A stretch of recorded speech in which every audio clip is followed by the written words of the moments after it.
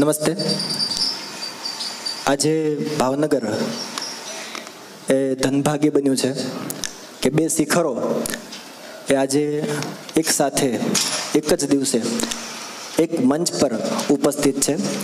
શ્રી હાસ્યભાનુ શાહબુદ્દીન રાઠોડ સાહેબ.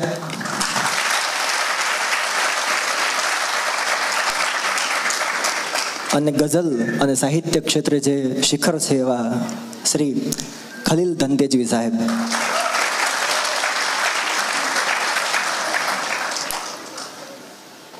એક નાનકડી એવી દીકરી એના પપ્પાની સાથે મંદિરે ગઈ. મંદિરે ગઈ એટલે એના પપ્પાને સ્તુતિ કરતા, પ્રાર્થના કરતા જોઈને એ પણ કંઈક ગણગણવા લાગી. એના પપ્પાને એમ થયું કે આ ત્રણ ચાર વર્ષની દીકરી આને ન આવડે સ્તુતિ કે ન આવડે પ્રાર્થના કે ન આવડે ભજન, આ શું બોલતી હશે? પણ પૂરું થઈ જવા દીધું. સમજુ માણસોનું એક લક્ષણ હોય છે કે જે કંઈ ચાલતું હોય ને પૂરું થઈ જવા દે. એટલે એ પૂરું થઈ ગયા બાદ એના પપ્પાએ એ દીકરીને પૂછ્યું કે તું શું બોલતી તને શ્લોક આવડે છે? તને પ્રાર્થના આવડે છે? એટલે એ દીકરીએ કીધું કે ના, મને શ્લોક નથી આવડતો. પ્રાર્થના પણ નથી આવડતી. તો મને કક્કો આવડે છે. અને ભગવાન પાસે હું કક્કો બોલી, ક કલમનો, ક ખ ખટેરાનો, ખ, ગ, ગણપતિનો, ગ. અને ભગવાનને કીધું કે તમને તો બધું આવડતું હશે, તમે તમારી રીતે તમારી સ્તુતિ બનાવી લેજો. આ તમને લોકોને એમ થતું હશે કે આ બે દિગ્ગજોની વચ્ચે આ બાળક શું બોલશે? કે શું કરશે? તો કહી દઉં, હું કક્કો બોલવાનો છું. ક કલમનો, ખ ખ ખટેરાનો, ખ. આમાં કાંઈ આડોળું થાય તો તમે લોકો ભગવાન છો મારા. સરખું કરી લેજો. આમ તો એક મને મિત્ર આવેલો મળવા માટે. આમ તો ટિકિટ લેવા આવેલો, પણ પછી ટિકિટ લીધા વગર જતો રહ્યો. એમણે નવું નવું એણે એન્કરિંગ શરૂ કર્યું છે. એટલે એણે મને કીધું હતું કે આ વખતે આપણે કંઈક સારો એન્કર રાખીએ તો. આવું એણે મને મારા મોઢા ઉપર કીધું. એટલે પછી મેં એને જવાબ આપ્યો કે આમાં સારા એન્કરોનો પ્રોબ્લેમ એ છે કે એને ફિલોસોફી ખૂબ આવડતી હોય છે. અને એને બધી જ કહી દેવી હોય છે. એને એક વાક્યની ખબર નથી પડતી કે જે પીરસવા વાળા હોય ને એને જમવા ન બેસી જવાય.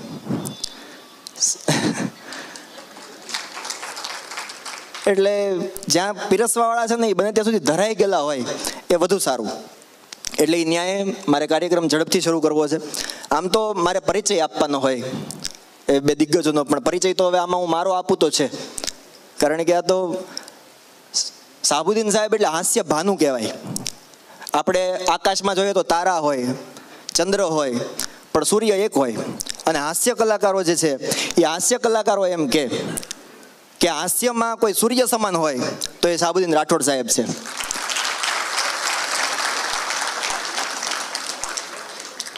ખલીલ સાહેબ વિશે એવું કહેવાય છે કે કોઈ પણ મુસાયરો હોય, ગઝલોનો તો એ મુસાયરામાં ખલીલ સાહેબને અંતમાં રજૂ કરવામાં આવે.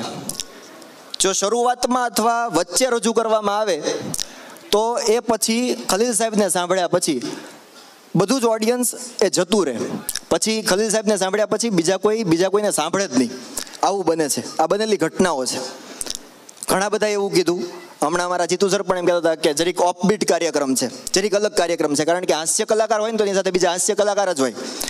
કોઈ શાયર હોય, કોઈ કવિ હોય, તો એની સાથે બીજા કવિ જ હોય. પણ એક હાસ્ય કલાકાર અને બીજા કવિ એ એક મંચ પર ભેગા થયા છીએ અને ઓફબીટ કાર્યક્રમ છે ત્યારે. આપણે કાર્યક્રમને પણ ઓફબીટ રીતે શરૂ કરીએ. ખલીલ સાહેબ વિશે એવું કહેવાય છે કે ભૈરવી રાગ છે. જે સંગીત જાણે છે એ લોકોને ખબર છે કે ભૈરવી રાગ એ કાર્યક્રમના અંતમાં રજૂ થાય છે. ખલીલ સાહેબ હંમેશા અંતમાં રજૂ થાય છે. પણ આ ઓફબીટ કાર્યક્રમ છે ત્યારે. હું ખલીલ સાહેબને જ વિનંતી કરું કે આપથી જ આપણે આ કાર્યક્રમ શરૂ કરીએ. તો વિનંતી કરું ખલીલ સાહેબને કે સાહેબ, મને મૂકીને વરસો. માવઠું અમને નહીં ફાવે. અમે હેલીના માણસ, ઝાપટું અમને નહીં ફાવે. જનાબ, ખલીલ તંતેજવી સાહેબ. સમજાતી નથી. એ ગમે તે હોય, ગુજરાતી નથી.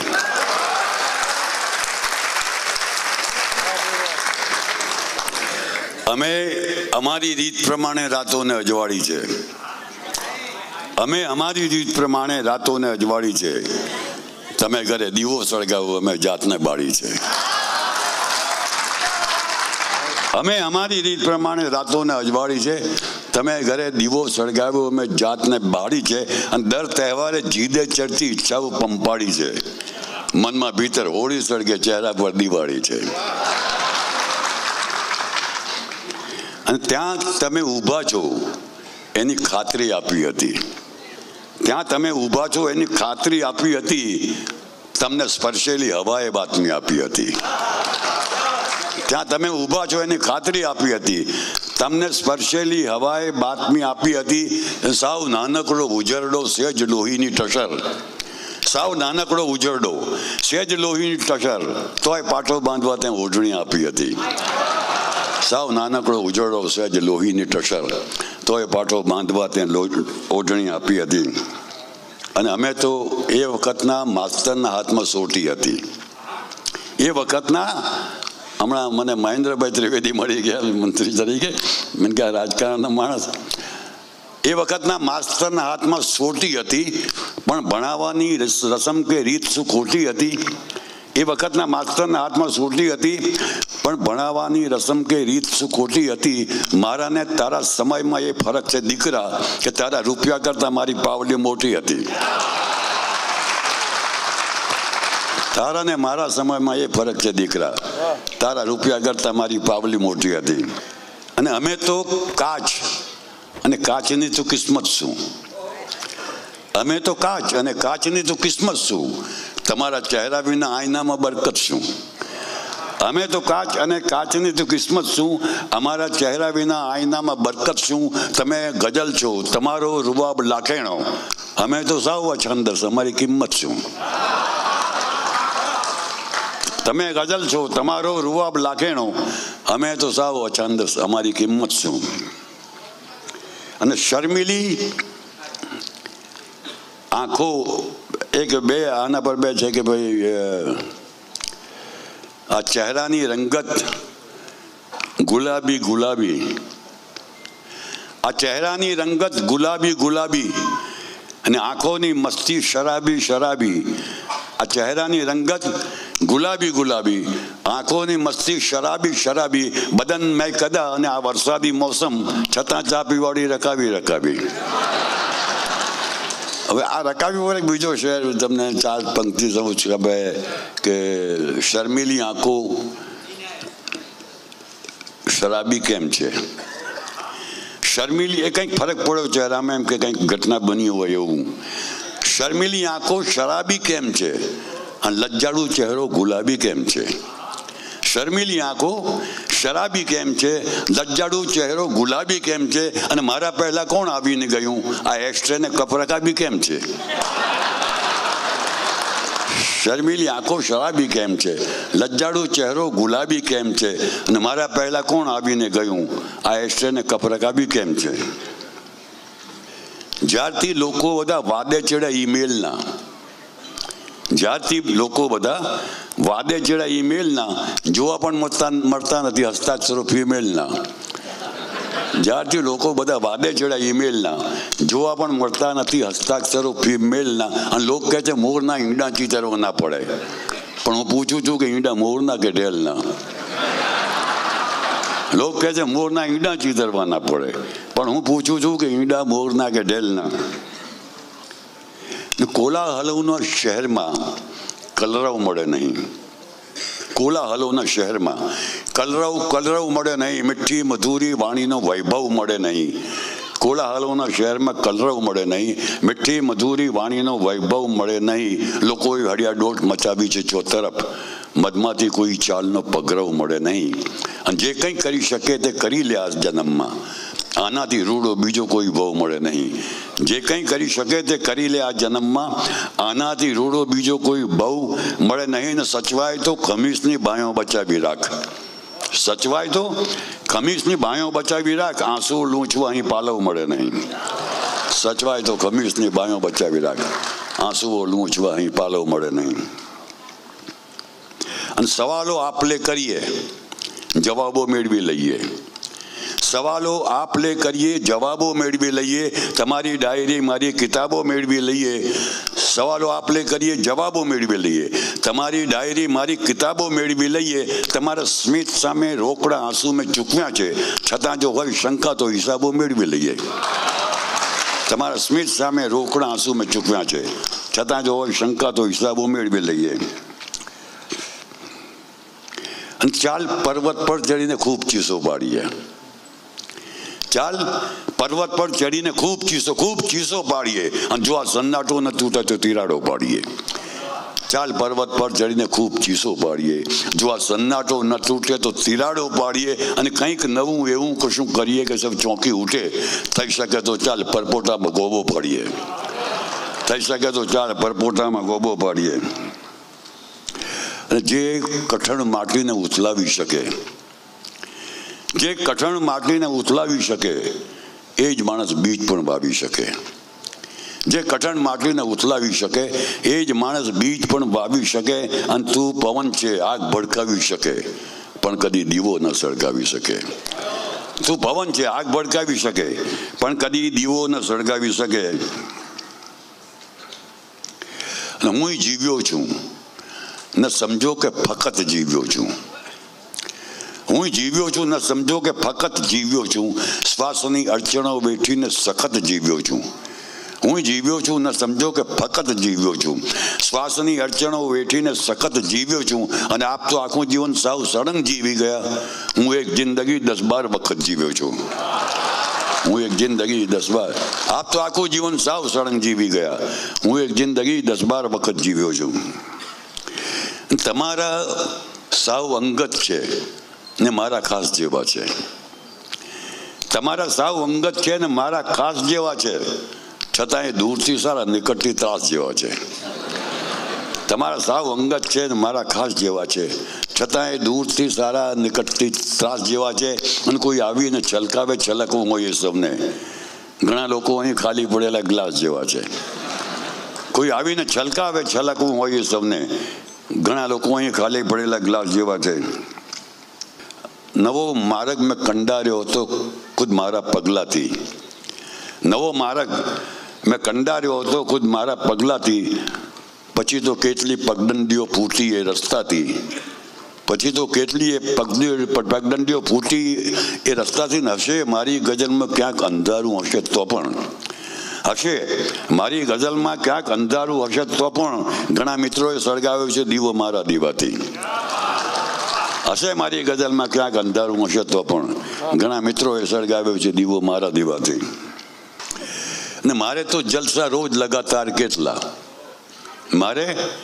મારે તો જલસા રોજ લગાતાર રોજ લગાતાર કેટલા? તારે વર્ષમાં બોલ, રવિવાર કેટલા? મારે તો જલસા રોજ લગાતાર કેટલા? તારે વર્ષમાં બોલ, રવિવાર કેટલા? અને તારે, તારા નગરનું નામ ચિરાગોની સલ્તનત. છણકા કરે છે તોય જો અનકાર કેટલા? તારા નગરનું નામ ચિરાગોની સલ્તનત. છણકા કરે છે તોય જો અનકાર કેટલા ચણકા કરે છે તોય અહીં અનકાર કેટલો? ને જ્યાં ટેરવે જે જ્યાં ટેર જે જ્યાં ટેરવેથી તારા નગરના નામ ચિરાગોની સલ્તનત સલ્તનત ચણકા કરે છે તોય જો અનકાર કેટલા? અને ઘર એક પણ બધા નહીં ઓરડા અલગ. ના, મારે તો જલસા લગાતાર કેટલા? તારે વર્ષમાં બોલ, રવિવાર કેટલા? અને ઘરે એક પણ બધા નહીં ઓરડા અલગ.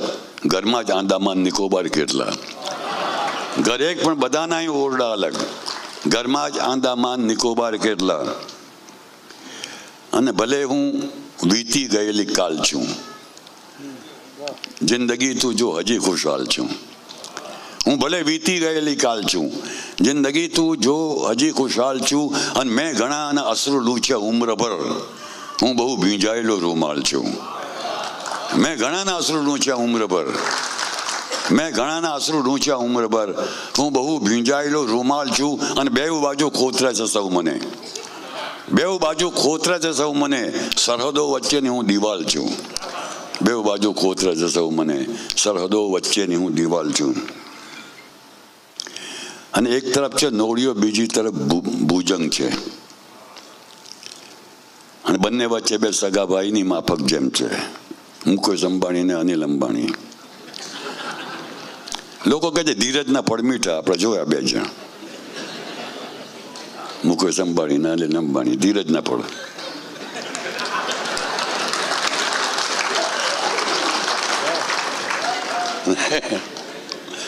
એક તરફ છે નોળિયો, બીજી તરફ ભુજંગ છે. બંને વચ્ચે બે સગા ભાઈની માફક જંગ છે. અને.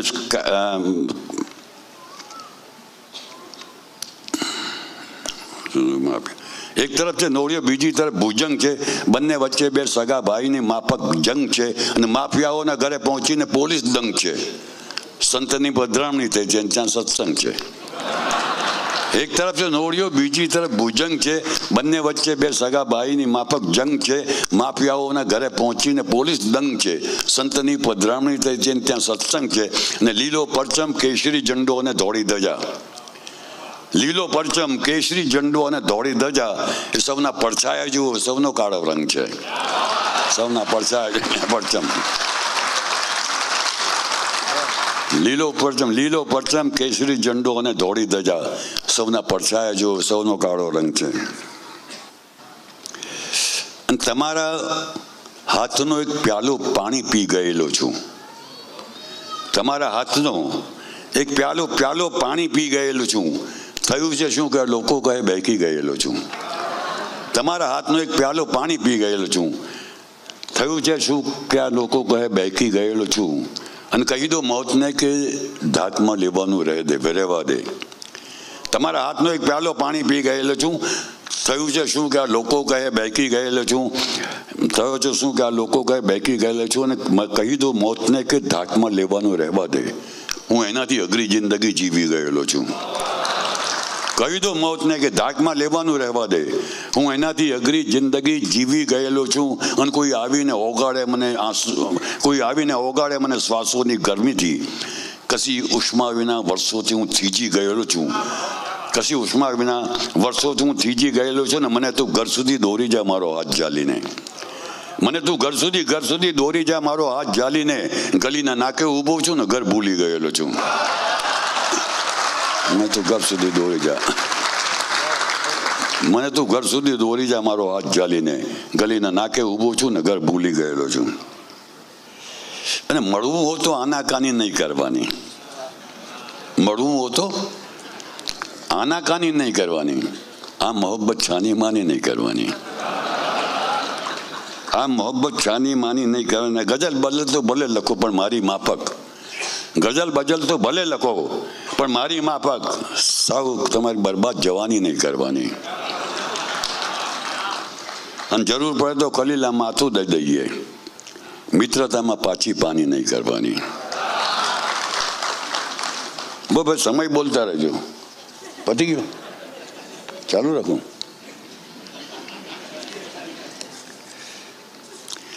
ઘોર અંધારામાં મધરાતે જે ભટકાયો હતો ઘોર અંધારામાં મધરાતે મધરાતે જે ભટકાયો હતો, ભર બપોરે ગુમ થયેલો મારો પડછાયો હતો. ઘોર અંધારામાં મધરાતે જે ભટકાયો હતો, ભર બપોરે ગુમ થયેલો મારો પડછાયો હતો. અને હાથ તે ઊંચો કર્યો તો આવજો કહેવા અને લાલ પાલવ કોઈનો અધવચ્ચે લહેરાયો હતો. ઘોર અંધારામાં મધરાતે જે ભટકાયો હતો, બર બપોરે ગુમ થયેલો મારો પડછાયો હતો, અને હાથ ત્યાં ઊંચો કર્યો તો આવજો કહેવા અને લાલ પાલવ કોઈનો અધવચ્ચે લહેરાયો હતો, અને બીજ પાડીને ઉગ્યો છું પીપળાની જેમ હું. ભીત ફાડીને ઉગ્યો છું પીપળાની જેમ હું. હું ઓડી ક્યાં કોઈના ક્યારામાં રોપાયો હતો? ભીત ફાડીને ઉગ્યો છું પીપળાની જેમ હું. હું વળી ક્યાં કોઈના ક્યારામાં રોકાયો રોકાયો હતો? રોપાયો હતો અને પર્વતો કૂદી જનારો સહેજમાં ભાંગી પડ્યો. પર્વતો કૂદી જનારો. સહેજમાં સહેજમાં ભાંગી પડ્યો. આ વખતે કોઈની પાપણથી પટકાયો હતો. પર્વતો કૂદી જનારો. પર્વતો કૂદી જનારો સહેજમાં કૂદ, તૂટી ગયો, તૂટ, આ વખતે કોઈની પાપણથી પટકાયો હતો. અને હું ખલીલ આજે મર્યો છું એ પ્રથમ ઘટના નથી. હું ખલીલ આજે મર્યો છું, આજે મર્યો છું એ પ્રથમ ઘટના નથી. જિંદગી પર હપ્તે હપ્તે રોજ ચૂકવાયો હતો. હું ખલીલ આજે મર્યો છું એ પ્રથમ ઘટના નથી. જિંદગી ભર હપ્તે હપ્તે રોજ ચૂકવાયો હતો. અને ચોર ચોકીદાર ભેગા થઈ ગયા. બે અલગ સંસ્કાર ભેગા થઈ ગયા. ચોર ચોકીદાર ભેગા થઈ ગયા. બે અલગ સંસ્કાર ભેગા થઈ ગયા. આંગળીને આંગળી અડકી ગઈ ને વીજળીના તાર ભેગા થઈ ગયા. આંગળીને આંગળી અડકી ગઈ. વીજળીના તાર ભેગા થઈ ગયા ને એકલું જીવનારના મૃત્યુ પછી એકલું જીવનારના મૃત્યુ પછી વીસ ભાગીદાર વીસ વારસદાર ભેગા થઈ ગયા. એકલું જીવનારના મૃત્યુ પછી વીસ વારસદાર ભેગા થઈ ગયા અને આપણે ઘરના રહ્યાના ઘાટના સાધુઓ સંસાર ભેગા થઈ ગયા. આપણે ઘરના રહ્યાના ઘાટના સાધુઓ સંસાર ભેગા થઈ ગયા. અને એમણે પૂછ્યું કે જો મોસમ મજાની છે કે નહીં? એમણે પૂછ્યું કે જો મોસમ મજાની છે કે નહીં? અને દિલને મેં પૂછ્યું કે ભાઈલા સાવધાની છે કે નહીં? એમણે પૂછ્યું કે જો મોસમ મજાની છે કે નહીં? અને દિલને મેં પૂછ્યું કે ભાઈલા સાવધાની છે કે નહીં? અને એની ક્યાં ચિંતા કે આફત આવવાની છે કે નહીં? એટલું પૂછી જુઓ, પાછી જવાની છે કે નહીં? એમણે એમણે પૂછ્યું કે જો મોસમ મજાની છે કે નહીં?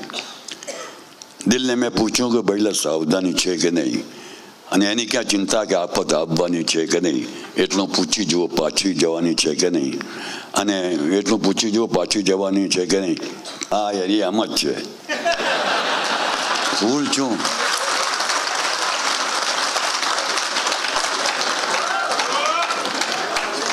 ફૂલ છું, ચાહો તો ડાળી પરથી તોડેલું મને. પણ પ્રથમ જોઈ લો ઘરમાં ફૂલદાની છે કે નહીં? ઘરમાં ફૂલદાની છે કે નહીં? એક નાનકડા દીવા પર જો રજમાવે છે તું એ પવન તારામાં થોડી ખોનદાની છે કે નહીં?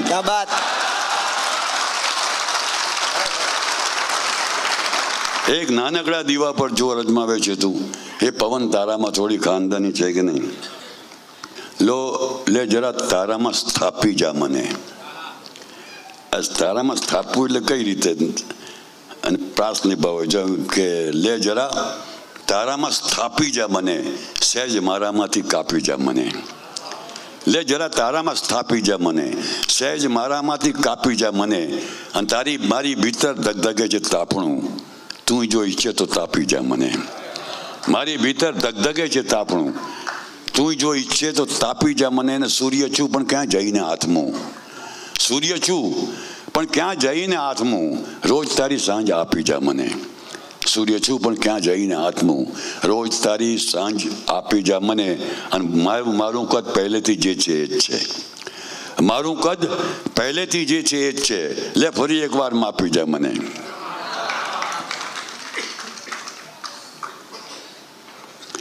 તમારા ઘરના દીવા રાતે રસ્તામાં હતા કે શું?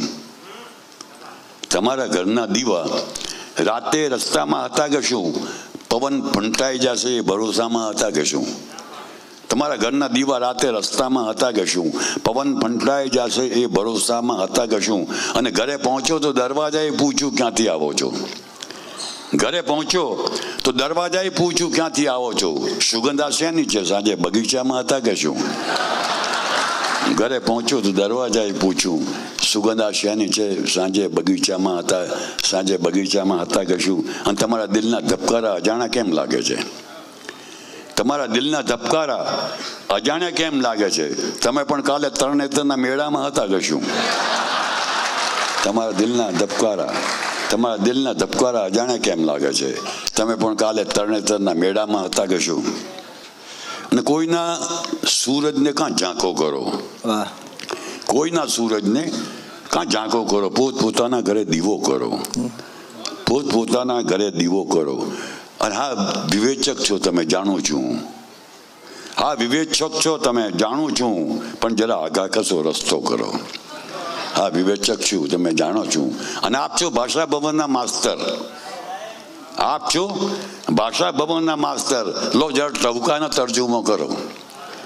આપ છો ભાષા ભવનના માસ્તર. લો, જરા ટવકાનો તરજુમો કરો. અને જિંદગી પરસેવાથી માંજી છે ભાઈ. એટલે તો આટલી ચમકી છે ભાઈ. જિંદગી પરસેવાથી માંજી છે ભાઈ. એટલે તો આટલી ચમકી છે ભાઈ. અને કેમ માનું કે વસંત આવી ગઈ છે? ક્યાં નવી કૂપળ કોઈ ફૂટી છે ભાઈ? કેમ માનો કે વસંત આવી ગઈ છે? ક્યાં કેમ માનું કે વસંત આવી ગઈ છે? ક્યાં નવી કૂપળ ફરી ફૂટી છે ભાઈ? કાલ પણ બે પવાલા ઓછા પડ્યા હતા. બે પવાલા કાલ પણ ઓછા પડ્યા હતા. અને વેચ ચાદર આજ પણ ખૂટી છે ભાઈ. બે પવાલા કાલ પણ ઓછા પડ્યા હતા. વેચ ચાદર આજ પણ ખૂટી છે ભાઈ. અને આપણે દોડ્યા બધે લઈને સફરજન. આપણે દોડ્યા બધે લઈને સફરજન. આપણી કોને ખબર પૂછી છે ભાઈ? આપણે દોડ્યા બધે લઈને સફરજન. આપણી કોને ખબર પૂછી છે ભાઈ? અને હું ખલીલ ચોરાસી વર્ષ વર્ષે છું અડીકમ અને બીડીઓ સિત્તેર વર્ષ મૂકી છે ભાઈ.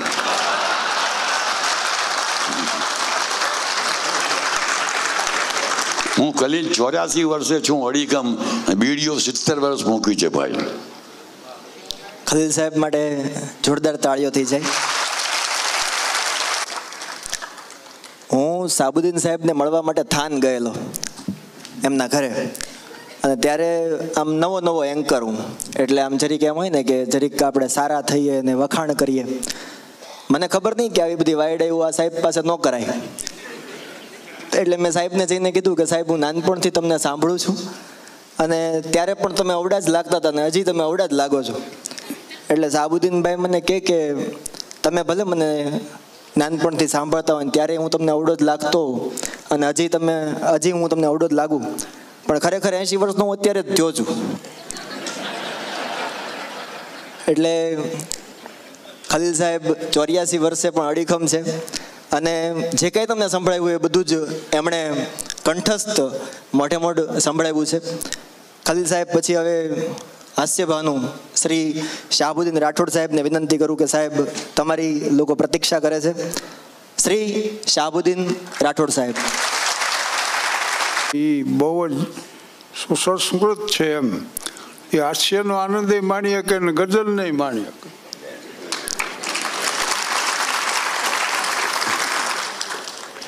મને એકવાર એમ થયું કે આ ગઝલ શું છે? તો ના સનમનો વિષય છે, ના જખમનો વિષય છે. ગઝલ આખરે તો પરમનો વિષય છે. નહીં હાથ લાગે સપાટી ઉપર.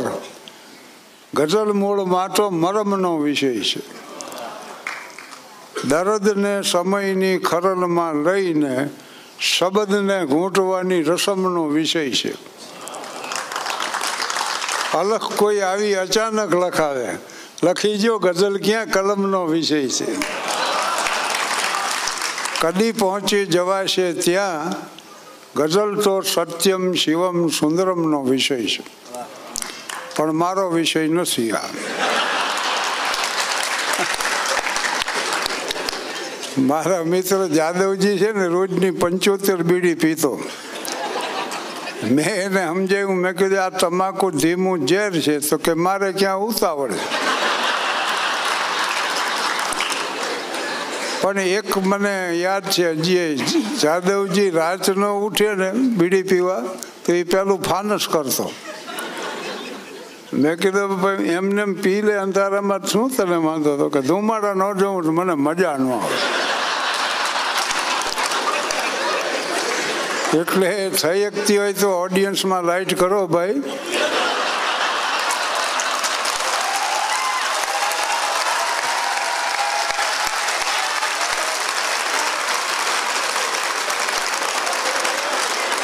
કારણ કે તમારા ચહેરા જોયા વગર મજા ન આવે. અત્યારે ખબર પડી, આટલા બધા લોકો છે. ઓલું છે ને, અપાશ્રમ બેઠા એવું લાગે. અને ખાલી બંદૂક હોય ને, ભરેલી બંદૂકથી એક જ જણો બીવે. ખાલી બંદૂકથી બે જણા બીવે. કારણ કે ખાલી બંદૂક જેના હાથમાં હોય એ બીવે ને સામે નહીં બીવે ત્યાં તમે એમ વિચારો છો ને કે આ શું બોલશે? હું એ વિચારું છું.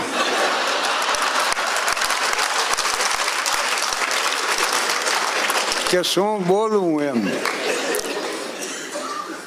પણ અમારો વિષય હાસ્યનો છે. અને આ એકસો ને પચાસમું વર્ષ ગાંધીજીનું ચાલે છે. હમણાં ગાંધીનગર મને બોલાવ્યો હતો દોઢ કલાકનું મહાત્મા ગાંધીજીનું શૂટિંગ કર્યું. હવે એ રિલે થશે. પણ મેં તરત સ્વીકાર્યું, એનું કારણ એ કે આ હાસ્યના પાયામાં મોટામાં મોટો પ્રેરણા સ્ત્રોત હોય કોઈ, તો એ મહાત્મા ગાંધીજીનો છે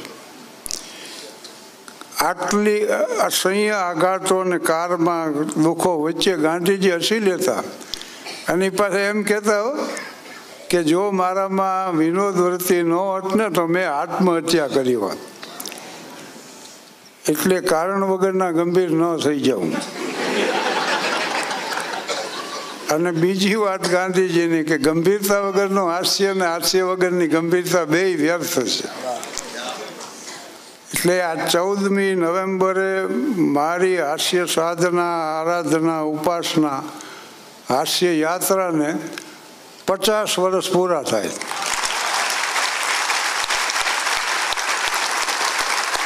અને મુંબઈ એની ઉજવણી કરે છે પાછું. પંદર, સોળ ને સત્તર નવેમ્બર મુંબઈમાં તારીખો બુક થઈ ગઈ છે. અને ત્રણ કાર્યક્રમો છે. એ લોકો બીજા ગોઠવવાના. અને મને નવ ડિસેમ્બરે બાંસી વર્ષ પૂરા થાય. ઘણું ધ્યાન રાખ્યું, બોલો. તો એ આ. એટલે ગંભીરતામાં હાસ્ય ને હાસ્યમાં ગંભીરતા, એ વાત મને સ્પર્શી ગઈ. ગહેરાઈ છે એમાં. એક જાતનું ઊંડાણ છે. એટલે મેં નક્કી કર્યું કે હાસ્યમાં ગંભીરતા લાવીને ગંભીરતામાં હાસ્ય લાવું મને મળવા આવ્યા થોડા શિક્ષક મિત્રો. કે આમાં ઓડિયન્સમાં ઘણા છે શિક્ષકો. એટલે હું કહી દઉં કે મારી જિંદગીના આડત્રીસ વર્ષ શિક્ષણ ક્ષેત્રે વ્યતીત થયા. મ્યુનિસિપલ હાઈસ્કૂલ થાનગઢમાં જ્યાં ભણતો ત્યાં શિક્ષક તરીકે સર્વિસ મળી. કે તેર વર્ષ શિક્ષક રહ્યો ને પચીસ વર્ષ હેડમાસ્ટર રહ્યો. પણ આ આડત્રીસ વર્ષની ફલશ્રુતિ એટલી જ કે to educate the children means to love the children Gurudev Rabindranath Tagore અને madam Montessori, madam Maria Montessori એટલે દુનિયાની માન શિક્ષિકા એ એમ કહેતા કે બાળકોને સમજાવવા પ્રયાસ ન કરો, સમજવા પ્રયાસ કરો. એ મહત્વની વાત એ છે અને શિક્ષક માટે ગાંધીજી એમ કીધું છે કે શિક્ષક એના વિષયમાં નિષ્ણાત હોવો છે અને ચારિત્રશીલ હોવો છે બીજી વાત એ કીધી છે ગાંધીજીએ કે વિષયમાં નબળો હોય તો હજી હાલે. પણ ચારિત્ર્યહીન તો ન જ હાલે, બોલો. તો આ આ બાબત છે. અને પત્રકારો મને પૂછે, તમારું નામ છે આબુદ્દીન અને અટક રાઠોડ. કે તમારી જાતિ કઈ? હું કહું, નર જાતિ. પણ એમાં ઊંડી વાત છે કે મંદિર મસ્જિદ गिरजा घर को बांट लिया भगवान को जमी आसमां को भी बांटा मत बांटो इंसान को તો હિન્દી હે હમ વતન હે હિન્દોસ્તા હમારા આટલી વાત પૂરતી છે ભાઈ ફળમાં તમને શું ભાવે મેં કીધું ભાઈ ઉધાર મળે ત્યાં સુધી કેસર કેરી ખાઈ પછી કેળાથી ચલાવી લઈએ તમારા પત્નીના સ્વભાવ વિશે કાંઈ કહી શકશો મેં કીધું, ના, એ હું ન કહી શકું હું સહનશીલ છું એવી તમે નોંધ કરજો. અબ્રાહમ લિંકન છે ને સેક્રેટરીને એક નોટ કરાવતા. એક બાઈ વચ્ચે કાંઈક ને કાંઈક બોલે. કે સેક્રેટરી કે સાહેબા કર્કશા છે કોણ? તો લિંકન કે, મારા પત્ની છે. મેરી ટોડ લિંકન. સેક્રેટરી કે માફ કરજો સાહેબ, મારી ભૂલ થઈ ગઈ. લિંકન કે નહીં, ભૂલ મારી થઈ છે, તમે કેમ માફી માંગો?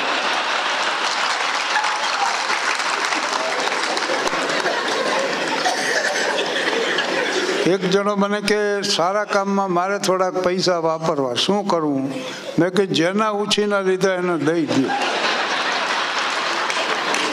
હારા મારું કામ હોય તો આ છે. અને આમે વાત સાચી છે પીપા પાપન કીજીએ પુણ્ય કિયા સો બાર. જો કિસી સે ના લિયા તો દિયા સો બાર. એટલે જેનો વ્યવહાર શુદ્ધ, એનો ધર્મ વિશુદ્ધ. સીધી બાબત છે. સુરતમાં હમણાં અમારે કાર્યક્રમ હતો. મેં અંબારી દીધું. મેં કે તાપી નદીમાં પૂર આવ્યું અને ભયાનક પૂર આવ્યું. એમાં જુવાનિયા બે જોતા પૂર. તો તબલાની જોડ તણાટી જાતી. એટલે જુવાનોને એમ થયું કે આપણી ભજન મંડળીમાં જરૂર છે તબલાની. અને આ જોડ આમ નામ જાય છે. જોખમ વગર આ જગતમાં ક્યાં કંઈ મળે? ખાબકા પૂરમાં બોલો. અને તબલાની જોડ પકડીને જ્યાં ખેંચીને તો અહીં રામદાસ મહારાજ નીકળ્યા. એને કેડે બાંધેલા. ઓલા સંતના હામૈયામાં હાલતા હાલતા વગાડે ને? નંદલાલ નહીં રે આવું ને ઘરે કામ છે. ત્યાં ઘરે નો આવ્યા ને તાપીમાં ઉપડ્યા. પછી તો જુવાની આવે મહારાજને ફેર પદોડી પહેરીને પાણી બાણી કાઢી નાખ્યું. હોસ્પિટલમાં દાખલ કર્યા. પણ ભાનમાં આવ્યા ત્યારે મહારાજ એટલું બોલ્યા કે એકાદી કલાનો સંગ હોય તો તરી જવાય.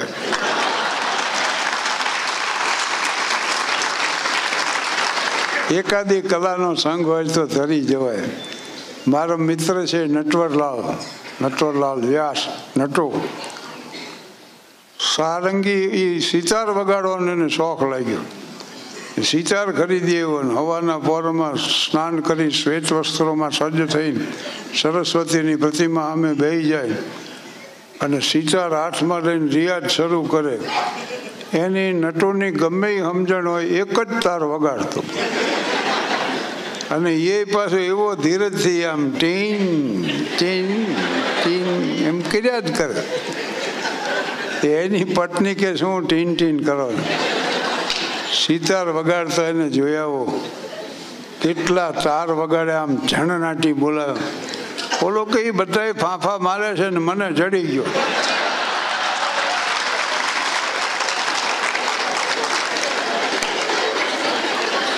પણ જીવતરના તાર જેને જડી જાય ને, એને તો પછી તનકે તંબુરે મેં સાસો કે તાર બોલે.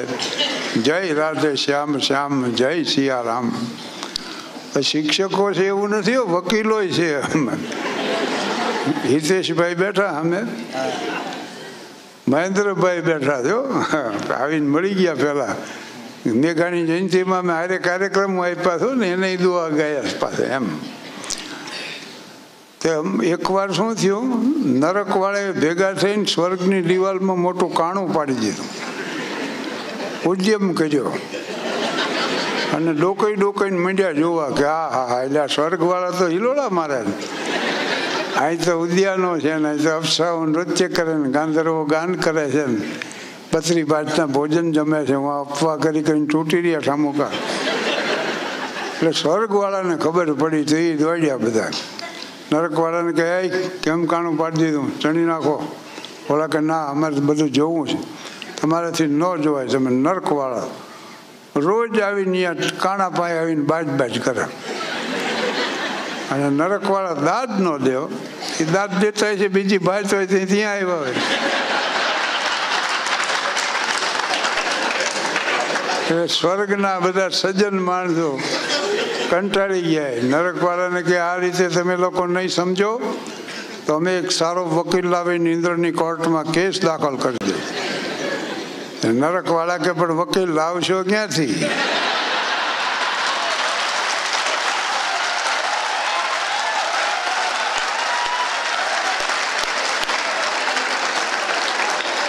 બોલા કે, કા કે આ બધા અહીં છે. અને અમારું ગામ છે ને, થાનગઢ મારું ગામ છે.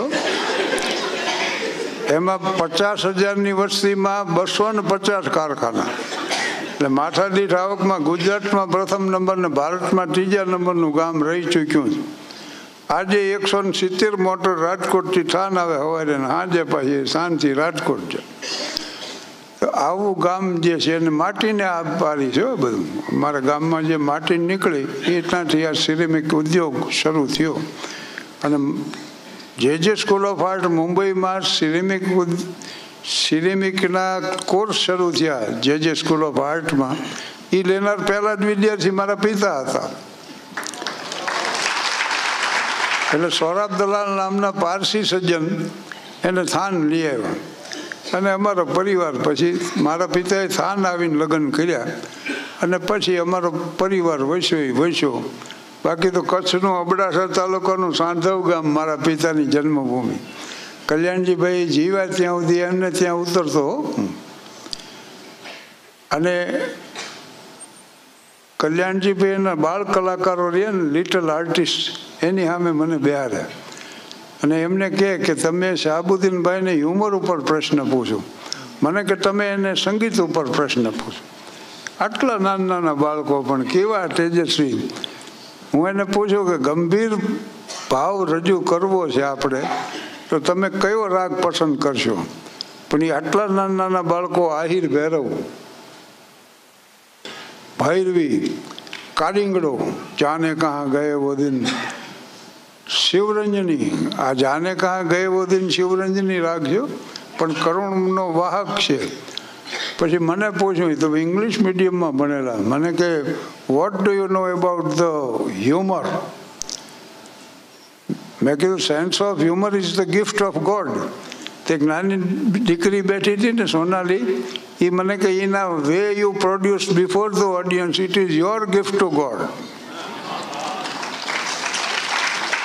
અને એ કામકાજ ગમ્યું મને. અમારા ગામમાંથી જ મને એટલા બધા પાત્રો મળ્યા છે કે હજી બાર ગામ નથી તપાસ કરવી પડી. મારો મિત્ર છે મઠોર. તે મઠોરને જોવા મહેમાન આવ્યા. મને પૂછ્યું, મને કે મુરતિયામ કંઈ લાયકાત છે? મેં કીધું ઉંમર લાયક છે. પછી મથુરના લગ્ન થયા. હમણાં મને ભેગો થયો કે મારી પત્ની છે ને, રોજ સવાર પડે ને બસો રૂપિયા માંગે. એટલે હોય નહીં કીધું. તો કે હા સવાર પડ્યો નથી, લાવજો બસો રૂપિયા.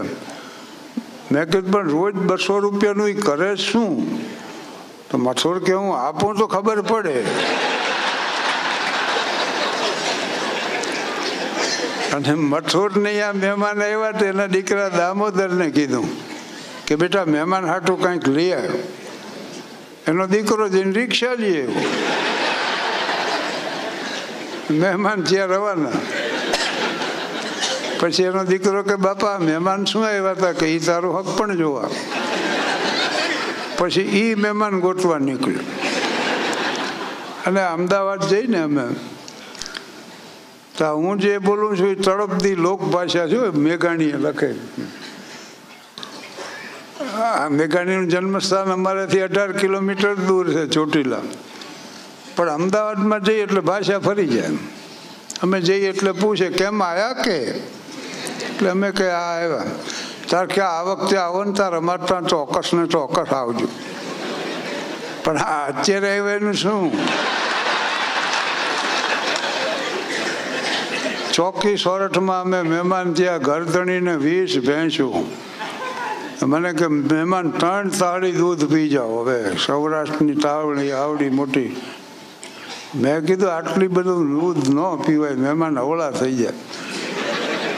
તો કે પીવો ને ભલામણ, અમે માનશું ભેંસને પાડો ઢાવી ગયો. તો આવે અનુભવ થાય.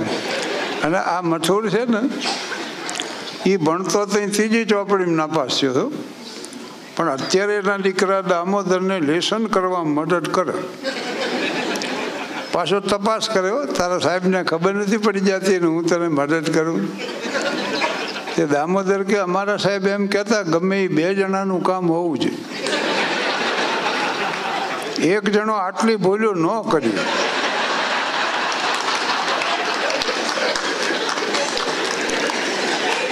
અને હવે તો મને આમંત્રણો આવે છે. પ્રમુખ સ્થાનના અતિથિ વિશેષ તરીકે લોકો બોલાવે. કારણ ઉંમર છે, બીજું કંઈ નથી. પણ એક સંસ્થાનો મને પત્ર મળ્યો કે અમારા વાર્ષિક સમારંભમાં તમારે પ્રમુખ સ્થાન શોભાવવાનું છે. હું એટલો બધો ખુશી થઈ ગયો. મેં એને સ્વીકૃતિ પત્ર કન્ફર્મેશન લેટર તરત જ મોકલી દીધો. એ લોકોનો વિચાર બદલે એ પહેલાં. પછી મેં વિગતવાર કાગળ વાંચ્યો ને ત્યારે ખબર પડી કે પાગલખાનાનો સમારંભ.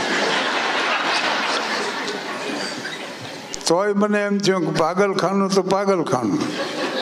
આમ જીવનમાં ધીરે ધીરે આગળ વધાય અને ગાંધીનગર સુધી પહોંચાયો.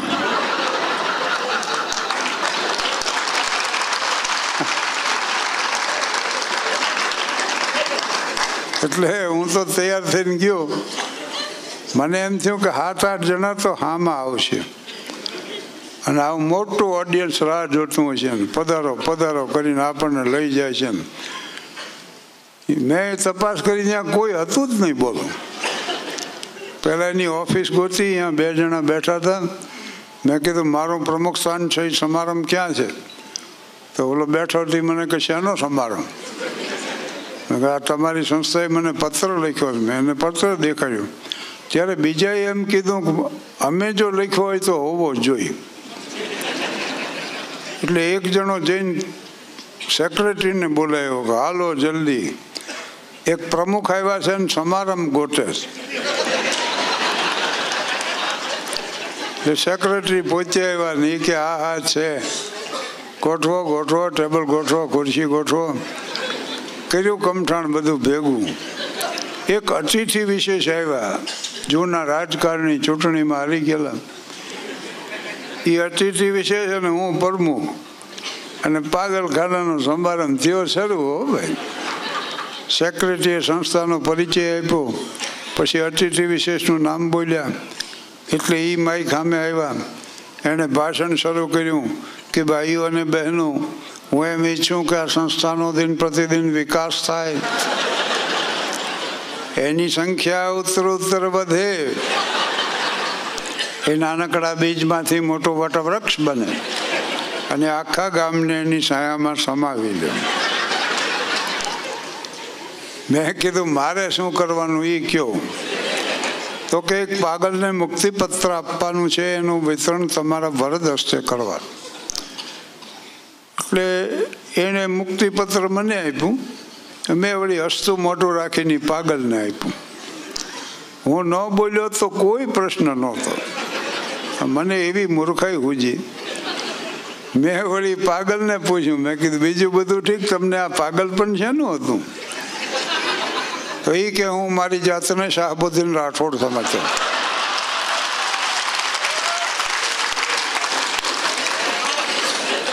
મેં કીધું શાહબુદ્દીન રાઠોડ હું છું. મને કે ત્રણ મહિના થાય છે. પણ સારું થઈ જાય. માટે દાખલ થઈ જાઓ. તો મંજિલ ન મળી, એમાં મુકદ્દરનો વાંક છે. વળવાનો હું હતો અને રસ્તો વળી ગયો. તો આવા અનુભવ જીવનમાં થાય છે. સ્વામિનારાયણ ગુરુકુળ મેમનગર જે રહ્યું ને અમદાવાદ એ મારો પિસ્તાલીસ વર્ષથી ઉતારો તો હું અહીંયા ઉતરું સંતોનું સાનિધ્ય મંદિરનું વાતાવરણ અને વિદ્યાર્થી મિત્રો પાછા વિનય વિવેકી મંદિરમાં જૈન દર્શન કરવામાં દસ મિનિટ થયો પણ એ વિચાર આવતા આવતા સાઠ વર્ષ વીતી જાય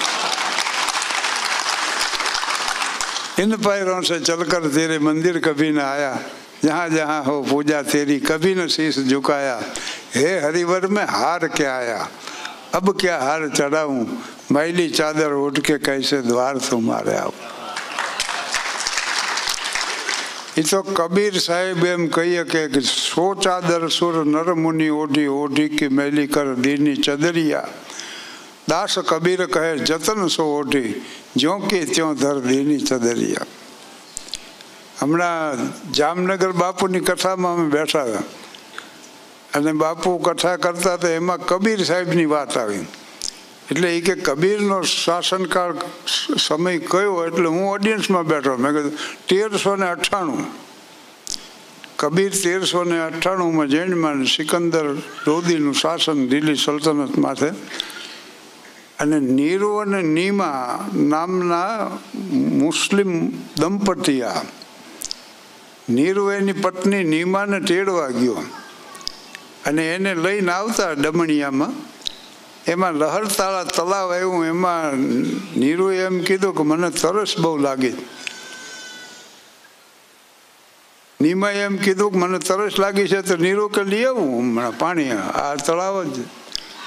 એ લોટો લઈને પાણી ભરવા ગયો ને અહીંયા ખડમાં એક બાળક ઘોઘવાટા કરતું. એવું તંદુરસ્ત ને એકલું પડ્યું પડ્યું.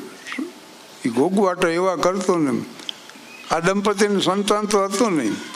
એટલે એણે તરત જ બાળકને તેડી લીધું. અને દીધો નીરુએ નીમાને ગાદે ખુદાએ દીકરો જ દીધો. પછી એનું લાલન પાલન એને રમાડવાનું મોટો કરવાનો પછી કાજી સાહેબ પાસે ગયા કે આનું નામ પાડવું છે, જુઓ કિતાબ. કિતાબ આમ ખોલીને જ્યાં જોયું તો નામ આવ્યું કબીર. કબીરનો અર્થ માન થયો, ઈશ્વર માટે આ શબ્દ વપરાય. તો કે આવું નામ અમે ન રાખીએ. બીજી વાર જુઓ ને, બીજી વારે નામ આવ્યું કબીર અને ત્રીજી વાર નામ આવ્યું કબીર. પછી એ નામ રાખવાનું. એ આ સંત કબીર. અમેરિકાનો અમારો પ્રવાસ હતો અને કાર્યક્રમો બધાય ગોઠવાઈ ગયેલા. એમાં લોસ એન્જલસ અમે પહોંચ્યા. એમાં એક આમંત્રણ આવ્યું. મેં કીધું, ભાઈ, આપણા શેડ્યુલમાં તો નથી આ, પણ આમંત્રણ છે કોનું? તો કે કબીર આશ્રમ. કબીર આશ્રમનું આમંત્રણ છે. મને પહેલો આનંદ તો એ થયો કે લોસ એન્જલસમાં કબીર. એટલે તરત જ મેં આ આમંત્રણ સ્વીકારી લીધું અને આ જ વાત ત્યાં રજૂ કરી. આપણે પાછી આપણી વાતો એ જડી ગઈ તળાવની પાળે અમે થાનમાં બેઠા હતા. એમાં અમારો એક મિત્ર આવ્યો, વિઠ્ઠલ. વિઠ્ઠલ આવતા મેં ધ્રુવા જ માંડ્યો હિબકે ચડી ગયો નાનો રહે નહીં. અમે ત્રણ અડધી ઉધાર ચા મંગાવી. વિઠ્ઠલને પીવડાવી. કીધું, શું કામ આટલો બધો રોવે? તો કે, હું જેટલી કન્યા પસંદ કરી આવું ને, મારી બાદ હળ દઈ ના પાડે. હું કન્યા પસંદ કરું, મારી બા ના પાડે, બોલો. એટલે મેં એને શિખામણ આપી. મેં કે તારી બા જેવો દેખાવ હોય, એવો સ્વભાવ હોય, એવા કપડાં પહેરતી હોય ને, એવી કન્યા પસંદ કરે. મને કે, એમ કર્યું તમારા મારા બાપા ના પાડે.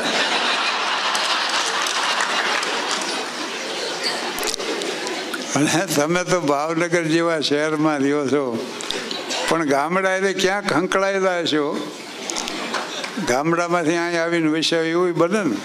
અમારે અહીંયા ગામડામાં છે ને, વરરાજો જે થયો હોય ને જુવાન, એનો બેડી એટલો બધો માપો જાળવવામાં આવે. વરરાજા માટે હવાના પોરમાં ગરમા ગરમ ગાંઠિયા આયરે પાછી ગરમ જલેબી, વળી તળેલા મરચા, એક કપ ચા સામે પીડ્યો હોય આખી પીકીચલી બોલો, ગમે એટલો પીવે. વરરાજોએ સમજતો હોય કે આજ તો કોઈ કહેવાનું નથી. ધરવા આઠ ગાંઠિયા ખાઈ જાય. ત્રણ ચાર કપ તો ચા પી જાય. પછી તમાકુવાળું પાન ગલોફે ચડાવી અને વરરાજા તૈયારી કરે. શેની? જંગલ જવાની. પણ ગામડામાં લેટ્રિન બેટ્રિન હોય નહીં. પણ વરરાજો જંગલ જાય ને તો એ કોટ પહેર્યો હોય માથે સાફો હોય. સાફામાં કલગી હોય. અને આમ બગલમાં તળવાર વરરાજો હાલે. છે હાલે. અણવર પડખે લોટો લઈને હાલે. વરરાજા લોટા બોટા ન ઉપાડે. એ તો આમ હાલે બસ એટલું. અને એટલું જ નહીં, હા, ઢોલી આગળ ઢોલ વગાડતો જતો.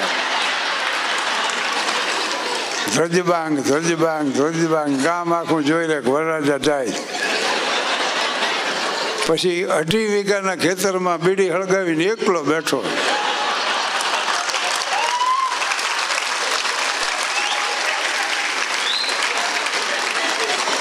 જોયા છે આવા લગ્ન જોયા છે ને માન્યા છે હું અને બીજો એક મિત્ર ધીરજલાલ કાપડિયા. તે અમારા ગામમાં બીએમાં ગુજરાતીનો વિષય લઈને પાસ થનાર ગામનો પહેલો ગ્રેજ્યુએટ પણ વાત વાતમાં શેર શેરીઓ મને બોલવા. ને ખુમારી રહી છે, ને ખુશાલી રહી છે, ને ચહેરા ઉપર કોઈ લાલી રહી છે. ચમનમાં હવે હિંચકો બાંધીએ ક્યાં? ને વૃક્ષો રહ્યા છે, ને લાડી રહી છે. ખુદા જાણે કયો ધર્મ પાળે છે દુનિયા? આ ધતિંગોની વણજારો ચાલુ રહી છે. ખજાનાના માલિકોને કોઈ સમજાવો કે જનારાની મુઠ્ઠીઓ ખાલી રહી છે? એટલે ધીરજલાલનું સન્માન કરવાનું ગામે નક્કી કર્યું. પ્રતિષ્ઠિત નાગરિકો સ્ટેજ માથે ગોઠવાણા. ધીરુ નહીં બે જ આજે અને બધાએ એની પ્રશંસા કરી. અને ધીરુએ એક જ ભાષણ કર્યું ને એમાં નાટમાં ડંકો દેવાઈ ગયો. ગામ આખું મંડ્યું વાહ વાહ કરવા અને મંડ્યા હકપડના કાગળો આવવા. પણ ધીરજલાલ વડે આમ કાગળ વાંચીને કે કન્યા ગ્રેજ્યુએટ છે? ઓલા કે ગ્રેજ્યુએટ નથી. તો ગ્રેજ્યુએટ કન્યા વગર મારા સાહિત્યિક વિચારો હું કેની પાસે વ્યક્ત કરું? મારી આ ઉર્મિઓની અભિવ્યક્તિ ક્યાં જઈ કરું? મને કોણ સમજશે? આવી વાયડીએ ચડી ગયો. તે ગ્રેજ્યુએટ કન્યાની તપાસમાં હાથ વરા ગયા પછી ધીરુએ ધોરણ ઘટાડ્યું. હવે ઇન્ટર હોય તો ઇન્ટર ચાલશે. હું ચલાવી લઈશ. ચાર વરા ગયા ઇન્ટર પછી જેવું માથે આવી ગયો કે હવે મેટ્રિક પાસ ને કરો તપાસ. મેટ્રિક પાસનો ન મેળ ખાધો. અત્યારે ધીરજલાલને ઓગણચાલીમું વર હાલે, બોલો. અને હવે એમ કે છે કે કન્યાને અક્ષર જ્ઞાન હું આપીશ? કન્યાને અક્ષર જ્ઞાન હું આપીશ, પણ મને ડાળે વરગાડો ઉગ્ર સ્વભાવનો થઈ ગયો. લગ્નના ઢોલ નથી આપણી એક તો શેરીમાં કોકની આ લગ્ન હોય ઢોલ મંડે વાગવા, ધીરું બાજવા દોડે. એ, બીજી શેરી બગાડો. ઓલા કે લગ્ન અમારે અહીંયા ઢોલ બીજી શેરી બગાડવા જાય? અને એ તારા દેખે? હવે આ ધીરુની વાત કરીને, વિઠ્ઠલની વાત કરીને, આ ત્રીજી વાત બને ત્યાં સુધી કહેતો નથી, પણ હવે આ તો હાવ ઘરનો ડાયરો. એટલે પેટ છૂટી વાત કરું. પડદા નહીં જબ કોઈ ખુદા છે, બંધો છે, પડદા કરના ક્યાં હું હેડમાસ્ટર થયો ને, પછી મેં લગ્ન કર્યા.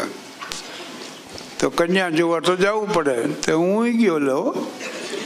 તે દે, હું તો આવડો ને આવડો. ત્યાં ચા પાણી, નાસ્તો ને એવું બધું આવ્યું.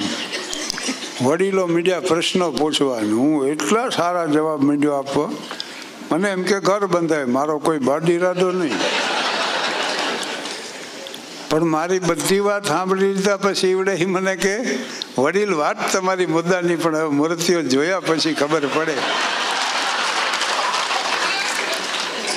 ત્યારે મને ખબર પડી કે મને વડીલ સમજે. એટલે ગામે ગામ યુવાનોને આ વાતો હું એટલા માટે કહું છું કે ભાઈ, પસંદગીના ધોરણ બહુ ઊંચા ન રાખો. આપણી લાયકાત ધારે નારે જોતું રહેવું. નકર ઘણી વાર એસટી સ્ટેશને પહોંચો ને, તો લક્ઝરી તો બધી ઉપડી જાય, આડી હોઠ વહી જાય. અને પછી પસ્તાવાનો પાર ન રહે ને, એવું ન કરવું એમ. એટલે સમયસર ગોઠવાઈ જાઉં. પછી હારે ઠેકાણે હક પણ થાય ને ધામધૂમથી લગ્ન થાય ને દેશ પરદેશથી મહેમાનો આવે અને પછી સુખી સંસાર શરૂ થાય. એની એક વાત કરી દઉં રેલવે સ્ટેશન ઉપર ટ્રેન આવીને તે બે મિત્રો ગયા. એમાં એકની પત્ની જવાની હતી ને એકની આવવાની. પણ જેની પત્ની જવાની હતી ને એ તો ગળગળો થઈ ગયેલો. તમે જાઓ છો મને ગમશે નહીં. ખાલી ઘર ખાવા દોડશે ખાવાનું ભાવશે નહીં. પણ લગ્નમાં ગયા વગર છૂટકો નથી. તારી બા આગ્રહ કરે તો રોકાઈ જાજો. પૈસાની જરૂર પડે તો મંગાવી લેજો. પણ મૂંઝાશો નહીં. તમે જોજો, રેલવે સ્ટેશન ઉપર પત્નીને વિદાય આપવી. એ પતિ માટે કપરામાં કપરો કાળ. એનું કારણ શું ખબર છે? એક તો પત્ની જતી હોય એ આનંદને રોકવો.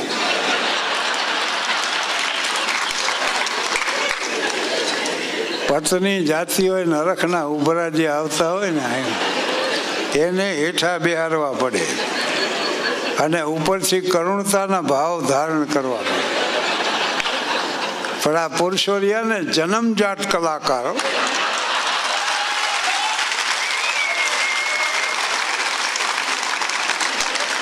બધું સમજતા હોય કે ગાડી ઉપર ત્યાં સુધી કષ્ટી છે. પછી તો એ પ્રભુના ખોળે જીવ અને આ બહેનો રહ્યા ને એમાં નેવું ટકા ભોળા હોય. અને એને વળી એ ભ્રમ હોય કે એ હાવ ભોળા છે. એ ગાડી ઉપર ત્યાંથી ભલામણ કર કર કરે કે બારીમાં ઊભા ઊભા દાઢી કરશો નહીં. તમને ધ્યાન રહેતું નથી. રેઝર લાગી જાય છે. સામે કોઈક રહેતું હોય ને. કારણ કે અમુક વાત સમજાય તો જ એની મજા છે મેં કીધું, આશ્રમમાં છોકરા કોના તોફાન કરે મને કે, બ્રહ્મચારી બાપુના.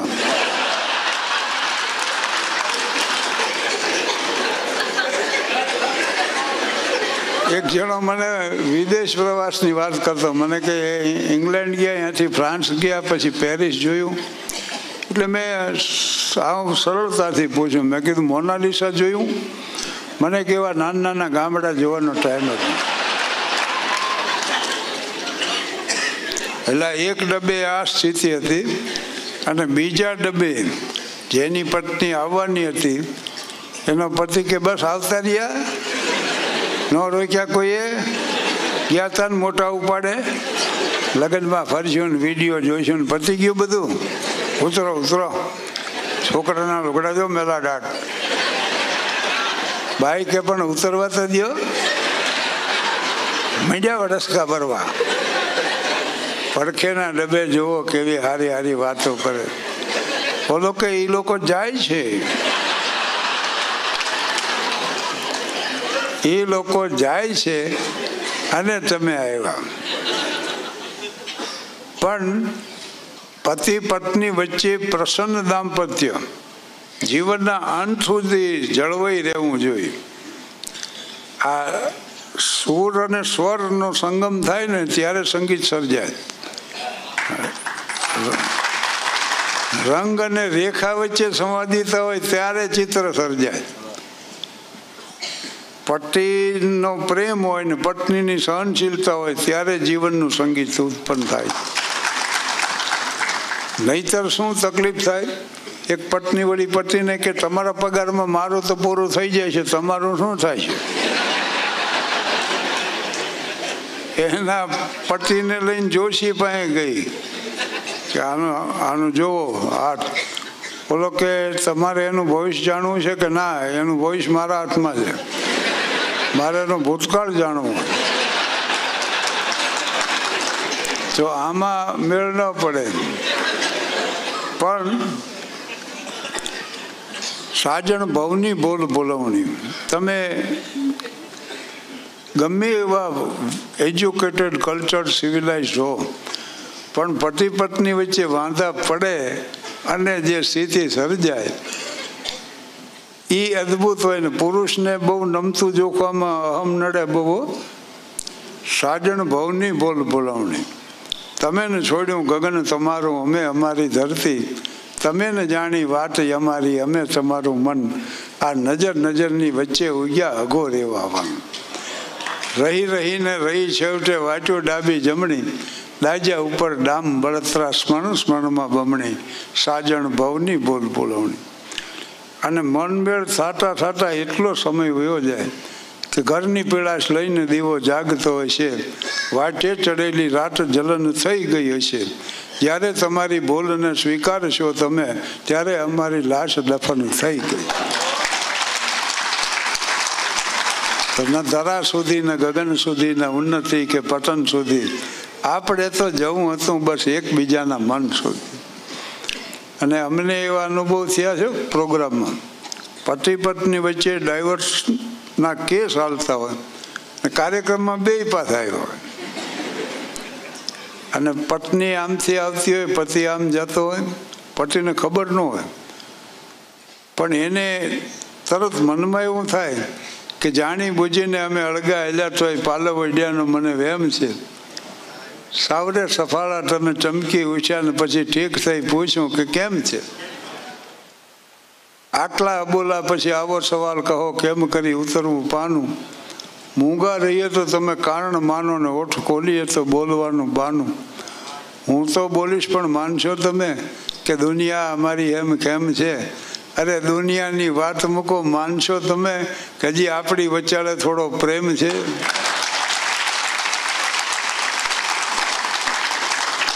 કાવ્ય, શાસ્ત્ર, વિનોદેન કાલો ગચ્છતી, ધીમતામ. બુદ્ધિમાન માણસોનો સમય હોય ને, કાવ્ય, શાસ્ત્ર અને વિનોદમાં વ્યતીત થતો હોય. ઓલા કલહમાં બાજવામાં એમમાં થતા હોય. પણ હું વાત તો એ કરતો, સ્વામિનારાયણ ગુરુકુળ એ મારો ઉતારો. અને મારું ગામ જે છે ને, થાનગઢ એમાં બત્રીસ વર્ષથી હાઈસ્કૂલથી ખોડિયારના રસ્તા સુધી હું જાઉં છું. અને વચ્ચે એક હાવ છીંસરું હતું કોર્સવે તો એમાં રસ, થોડોક જ વરસાદ થઈને બંધ થઈ ગયો. મહેન્દ્રભાઈને મેં કીધું, મહેન્દ્રભાઈ ત્રિવેદી. તીર્થસ્થાનના એ સીધી અધ્યક્ષ હતા. મેં કીધું, તીર્થસ્થાનને જોડતો આ રસ્તો છે ભાઈ, એમણે બનાવી દીધો, બહુ સારો. અને આજે એ અમારી સમસ્યા હલ થઈ ગઈ. તો બત્રીસ વર્ષ જે રોડ ઉપર આવેલો છું એને અમારી મ્યુનિસિપાલિટીએ શાહબુદ્દીન રાઠોડ માર્ગ, એવું નામ આપ્યું. અને કાયમ હું સાંજે ફરવા જાઉં અને એકલો જ ફરવા જાઉં કારણ કે જાતનો સંગ કરવાની તક મળે. તો હું જાઉં વોકિંગ સ્ટીક લઈને ફરવા નીકળી જાઉં. એક જણાને મેં કીધું કે ભાઈ, હું સાંજે ફરવા જાઉં મને બહુ આનંદ આવે. એટલે એ બે ચાર દી પછી મને ભેગો થયો કે હું એવી જ રીતે વોકિંગ સ્ટીક લઈને સાંજે નીકળ્યો, મને આનંદ ન આવ્યો. મેં કીધું, હું તો ફરવા જઉં છું ને આનંદ આવે છે. તમે તો આનંદ આવે એટલા માટે ફરવા ગયા. આટલો ફેર પડી ગયો, જો કીધું. પણ અમારે જ્યારે કાર્યક્રમ હોય ને, ત્યારે શું થાય? કે તૈયાર થઈને સાંજે અમારે સ્ટેજ ઉપર જવાનું. એટલે પછી અમદાવાદ બે ત્રણ દી રોકાવાનું હોય તો હું સવારમાં ફરવા જાઉં. અને હવે એટલું નક્કી થયું છે કે માણા હેલ્થ કોન્શિયસ થઈ ગયા. લોકોને એમ થઈ ગયું છે કે આ ગમે કમાઈ તો શરીર માધ્યમ ખરું સર્વ સાધનમ. તમારે નેતા, અભિનેતા, લેખક, કલાકાર જે થવું હોય પણ માધ્યમ તો શરીર છે ને. એટલે માણસો હેલ્થ કોન્શિયસ છે, બહુ ફરવા જાય તો સવારમાં અહીંયા જતા તો હોય છે. મોર્નિંગ વોકમાં નીકળતા તો હોય છે. ને ઘણા તો એવા જાડા હોય ને લુગડામાં હમાતાનું. મદન્યું હાલ્યું જાતે સવારમાં નીકળી પડ્યામાં બહેનોના શરીર વધી જાય. માથું તો કંઈ શરીર વધે નહીં. પછી આમ તમે પાછળથી જુઓ ને તો મોટા ગોળા માટે નાનકું ગુજારું મૂક્યું હોય. અમારે એક બેનનું એવું જાડું શરીરને ઉનાળાનો ધોમ ધકેલો, પણ કંઈક કામ હશે તો નીકળ્યા તો ઓલા બાલ મંદિરના બાળકો છે ને એ વાય વાય મીંડ્યા હાલો. એટલે આ બેન ખીજી ગયા કે, હાય, કેમ મારી પાછળ પાછળ આવો? તો બાળકો કે, તમારા છાયામાં હાલ્યા આવે આમ નામ ઘર સુધી પહોંચી જઈ. પણ તમે જોજો, જાડા માણસોની જ્યારે જ્યારે વાત નીકળે ત્યારે શું કે માના ખબર? રમૂજી સ્વભાવના. જ્યારે જુઓ તે હસતા ને હસતા. તે બીજું કરી શું કે કોઈની વાંય દોડીએ કે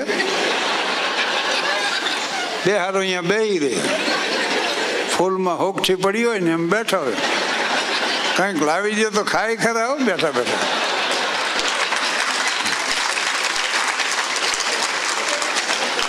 એટલે હું તો મેમનગર દૂરદર્શન તરફના રસ્તે હવારના પોરમાં ઉઠ્યો અને લેંગામાંથી જબો પહેરીને નીકળી પડ્યો મોર્નિંગ વોકમાં.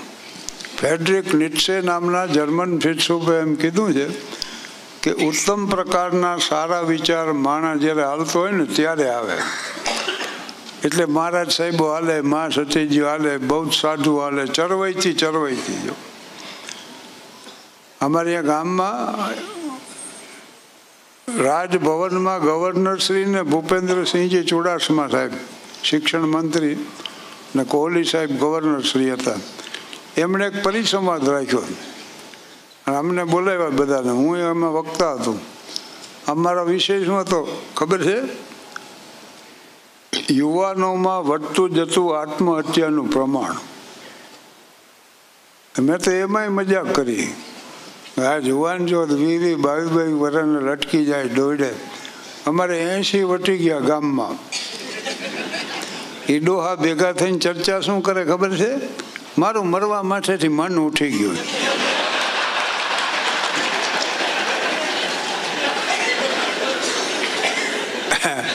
અને વૃદ્ધાવસ્થાનો હમણાં જ ઇમેજ માટે એક લેખ લખ્યો. વૃદ્ધાવસ્થાનો આનંદ એમ.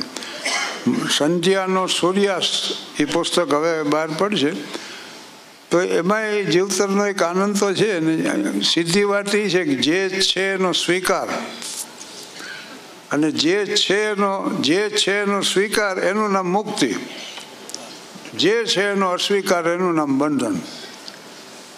અમે ને ખલીલ ધનસેજી સાહેબ, એમનો એ વિષય છે કૃષ્ણ પ્રિય વિષય છે. એટલે મેં, અમે એ કૃષ્ણ ઉપર ચર્ચા કરતા, બોલો. એટલે મને આ પ્રસંગોપાઠ યાદ આવ્યું છે તો કહી દઉં. જન્માષ્ટમીએ દ્વારકામાં મારો કાર્યક્રમ હતો અને મારે બોલવાનું કૃષ્ણ ઉપર જ હતું. પણ એક પ્રસંગ નાનકડી વાત કહી દઉં. ઓગણીસો ને અઠ્યાસીમાં હું અમેરિકાના પ્રવાસે હતો. અને મનુભાઈ પંચોળી, આ વિસ્તારમાં તો પરિચય આપવાનો ન હોય દાદા, મનુ દાદાનો. એ અમેરિકાના પ્રવાસે હતા. તો ત્યારે શું હતું, મહાભારત સિરિયલ અહીં હાલતી. અને લોકો એટલા પ્રભાવિત થયા. છે કરફ્યુ લાગી જતો, સિરિયલ શરૂ થાય એટલે કાંઈ બંધ બધું, એમ. અને એ જ સિરિયલો પાછી અમેરિકામાં અમેરિકનો જોતા એવા પ્રભાવિત થઈ ગયેલા એ રથોને કોડાને એ યુદ્ધોને, એને કોસ્ચ્યુમ્સ વેશભૂષાને, યુદ્ધમાં વપરાતા શસ્ત્રોને. એટલે લોસ એન્જલસ યુનિવર્સિટીના પ્રોફેસરોએ એક પરિસંવાદ યોજ્યો મનુભાઈની અધ્યક્ષતામાં. એ પ્રોફેસરો હતા ને બધું વાંચીને આવેલા. તો એમણે મનુભાઈ પંચોળીને કીધું કે, કૃષ્ણે જો શિખંડીને આગળ રાખીને ભીષ્મ પિતામને મરાવી નાખી અસ્વસ્થતામાં મૃત્યુ પામ્યો છે. હવે અસ્વસ્થતામાં હાથી હતો. એમાં દ્રોણાચાર્યને મરાવી નાખી કર્ણ તો રથનું પૈડું બદલતો, નિશસ્ત્ર હતો. એનો વધ કરાવ્યો ઠામુક. જયદ્રથ સૂર્યાસ્ત નહોતો થયો ને કૃષ્ણે કરી નાખ્યો સૂર્યાસ્ત.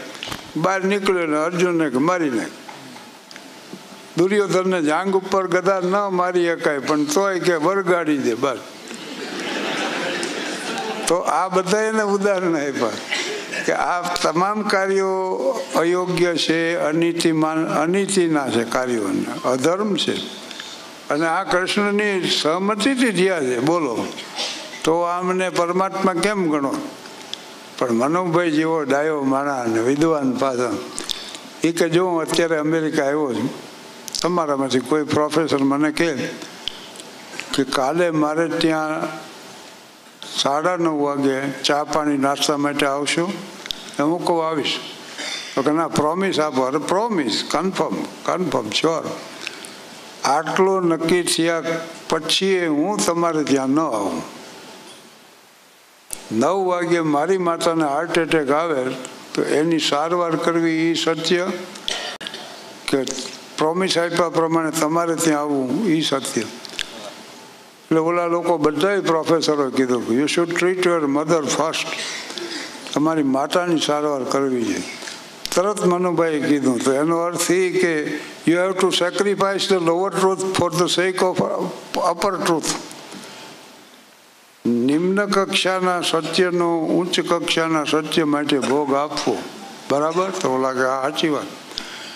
પછી મનુભાઈ કીધું તો કૃષ્ણનું પરમ સત્ય તો એ પહેલું જ વર્ણવે છે. કે પરિત્રાણામ, પરિત્રણાય સાધુ નામ વિનાશાય તો દુષ્કૃતામ, ધર્મ સંસ્થાપના થાય, સંભવામી યુગે યુગે. સજ્જનોની રક્ષા કરીને દુર્જનોનો નાશ કરવો એ કૃષ્ણના જીવનનું પરમ સત્ય છે. અને એ પરમ સત્ય માટે આ તમે વર્ણવ્યા ને એવા નાના નાના સત્યોનો ભોગ આપ્યો. બોલ. પણ આમ ગળે ઘૂંટડો ઉતારી દીધો બધાને. એટલે જીવનમાં ઉચ્ચ કક્ષાના સત્ય માટે નાના સત્યનો ભોગ આપવો પડે અને એ આપી દીધું આ કૃષ્ણના જીવન માટે શીખવાનું. અને દ્વારકાનું વાતાવરણ તો એવું હતું કે ત્યાં જે ગીતો, નૃત્યો, પ્રસંગો કૃષ્ણના જીવનના છે એ એવા એટલી ઉત્તમ રીતે ભજવાના. કે કૃષ્ણ સિવાય કંઈ સાંભળવા લોકો તૈયાર જ નહોતા પણ ઓડિયન્સમાં અમારી અમે બેઠેલા બ્રાહ્મણો પ્રવી થોડુંક લાંબુ થઈ જાય છે. પણ આ વાત મેં અહીંયા જન્માષ્ટમીમાં કરી દીધી. એટલે લોકોને એ આનંદ થયો. અને આવો ખુલાસો આ મનુભાઈ સિવાય કોઈએ કર્યો એવો ધ્યાનમાં નથી. વળી આપણી વાત લઈ લઈ થોડીક એટલે ભાઈ, પૂરો થયો હોય તો કહી દો ટાઈમ પણ સમય સ્થળ અને સ્વયંને જ્યારે તમે ભૂલી જાઓ, એવી સાહજિક રીતે જો ક્ષણો આવે ને, તો ઇટ ઇઝ કોલ્ડ મેડિટેશન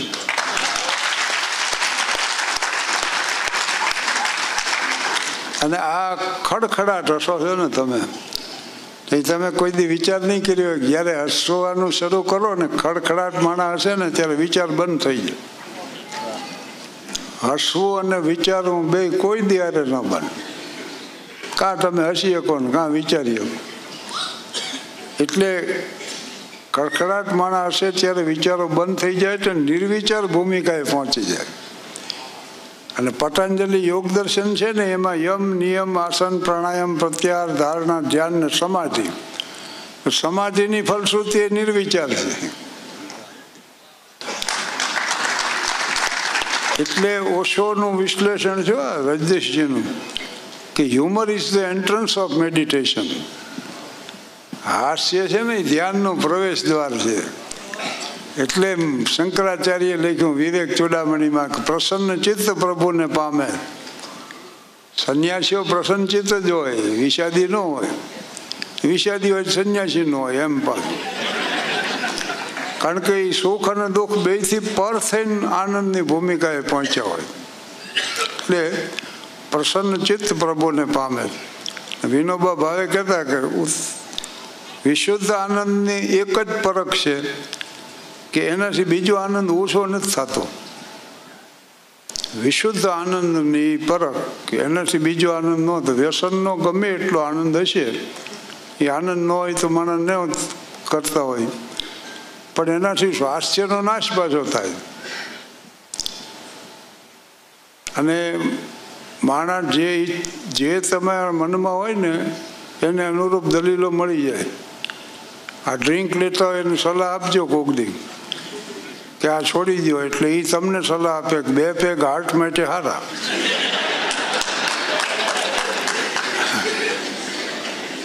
અને એ પાછા સાબિત કરવા પ્રયાસ કરે.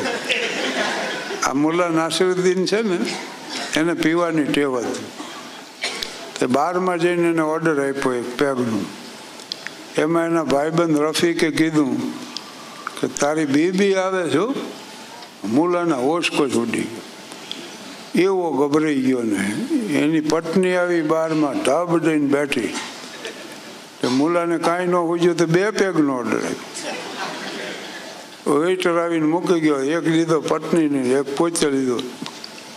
ઓલી તો એટલી ક્રોધમાં હતી ને, એને ઘૂંટડો ભરી લીધો બોલ. પણ થો થો થો કરીને થોકી નાખ્યું. અને મુલાને કે, અરે આવું કડવું પીવા હાટું તમે અહીંયા આવો એમાં મુલ્લા હિંમતમાં આવી ગયો. એ કહે છે, શું એમ છે કે અમે અહીં જલસા કરવા આવી છીએ?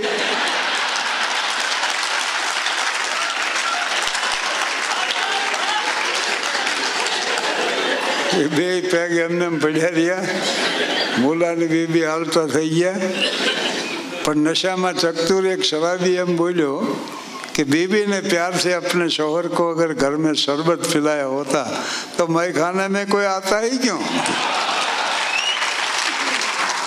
તે ઉમર ખયામની ગઝલ ઉમર ખયામની રૂબાયત છે એનું શૂન્ય સાહેબે ભાષાંતર કર્યું કે જો સોરા પીવી જ હોય તો શાનની સાથે પીવું કાં પ્રિયા કાં યાર બુદ્ધિ માનની સાથે પીવું ચિક્કાર પી બેફામ બની, જગનો તમાશો ન બનો. થોડી પીવો, છાની પીવો, પણ હોશની સાથે પીવો. અને આ બધા કામ જે રહ્યા ને, એ બેહોશીમાં છેલ્લા કામ છે. હોશની હારે ન થઈ શકે. બેહોશીમાં થયેલા આ બધા કાર્યો છે. હવે તો મને લાગે પૂરું થયું સાહેબ લાગુ મેરે ઠીક છે હે? લાભો મેરે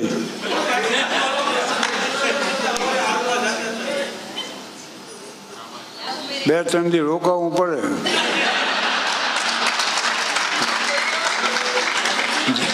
જેટલી ફરમાઈશ છે એ પ્રમાણે મંડી બોલવા. એ એક બે દીમાં પૂરું થાય એવું નથી. પણ હવે આપણા શેડ્યુલ પ્રમાણે સાહેબ બોલે, પછી મારે બોલવાનું. હવે ઇન્ટર તમે અકળાના હશો થોડાક. અને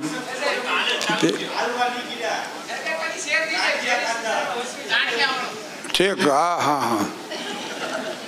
ક્યાંયનું ક્યાંય આવતું રહ્યું વાતમાં. એટલે ગુરુકુળથી હું નીકળ્યો હાલવામાં, બરાબર? હા એ વાત સાચી હો. પણ હવે સ્ટેજમાંથી બેન વાત શરૂ કરું ત્યારે હું એ ચિંતા નથી રાખતો કે યાદ રાખ ભૂલી જવાય. પણ એ સાચી વાત છે. એટલે હું એમને હાલ્યો જતો હતો. એમાં અમદાવાદી કાકા એક. હે, હું જાડું શરીર. પાછી ચડી પહેરેલી બહુ. સફેદ ચડીને બનિયાન ને સફેદ બૂટ મોજા ને કાકો ખપ ખપ કરતા આવે. બારમા માં તેરમું આવે એમ કાકી વળી હારે ને હારે. પાછળથી મને ભટકાણા બોલો. હું આગળ આવી તો અહીંથી પટકા અને કાકાની સામું જોઈએ તો મને કે ધ્યાન રાખતા હતો એટલે હું સમજી ગયો કે આની અરે કરાય નહીં સંઘર્ષ લગાડી દે આપણને. પણ કાકીએ કીધું તમારા કાકાને બોલ્યા હું જોઈશું ને, આગલા બે હારે ભટકાણા પડી ગયા. તમે ઊભા તો રહી ગયા. હજી હું જરાક આગળ આવ્યો. એક સાયકલ વાળો સીધે સીધો મને ભટકાણો. મને હેઠે પાડી દીધો. અને એ પાછો દાંત મીડ્યો કાઢો. મને કે ભાગશાળી છું. અરે શેના ભાગશાળી કીધું? કે હું કાયમ ખટોરો લઈને નીકળું.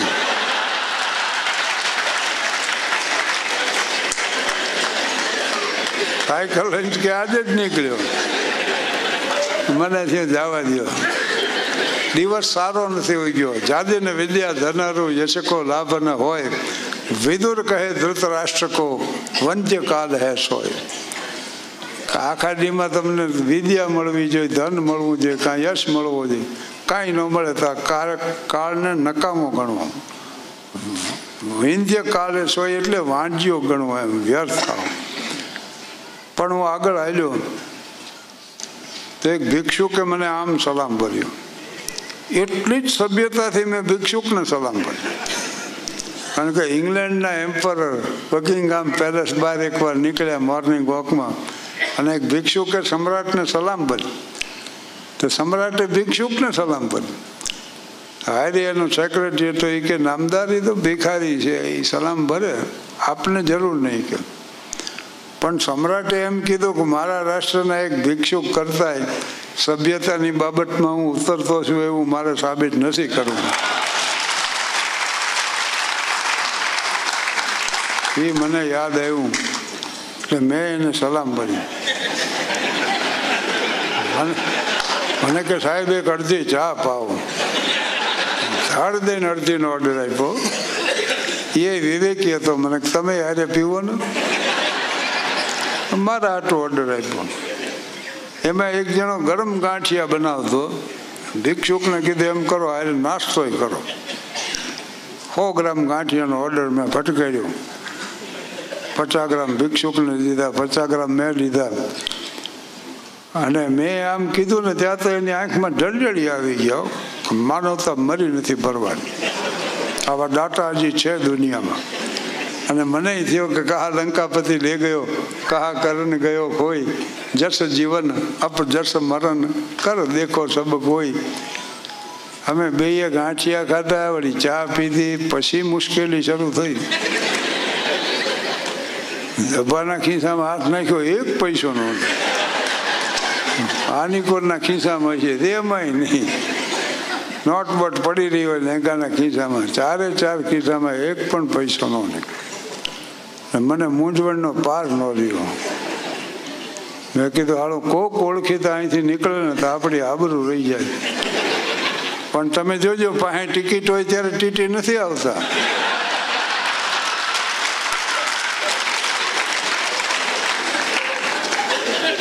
અને ખરેખરી ભૂખ લાગી હોય ત્યાં અમે આમંત્રણ નથી હોતા. ઈજન દઈને વિસરી ગયા. અમને અમારા સૌ લ્યો આઠમાં ને આઠમાં પાતળ સુકાઈ ગયા આ તો ડૉક્ટર બધું બંધ કરાવે ને હાઈ પ્રોટીન બંધ, તળેલું બંધ, મિષ્ટાન બંધ, સૂકો મેવો બંધ. તેની જોજો એક એક દીમાં બબે આમંત્રણ. અને આ જે બંધ કરાવ્યું એ સામે સામે હોય.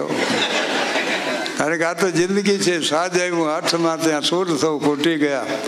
સાકીએ લીધી સુરાઈ, જામ સૌ ફૂટી ગયા.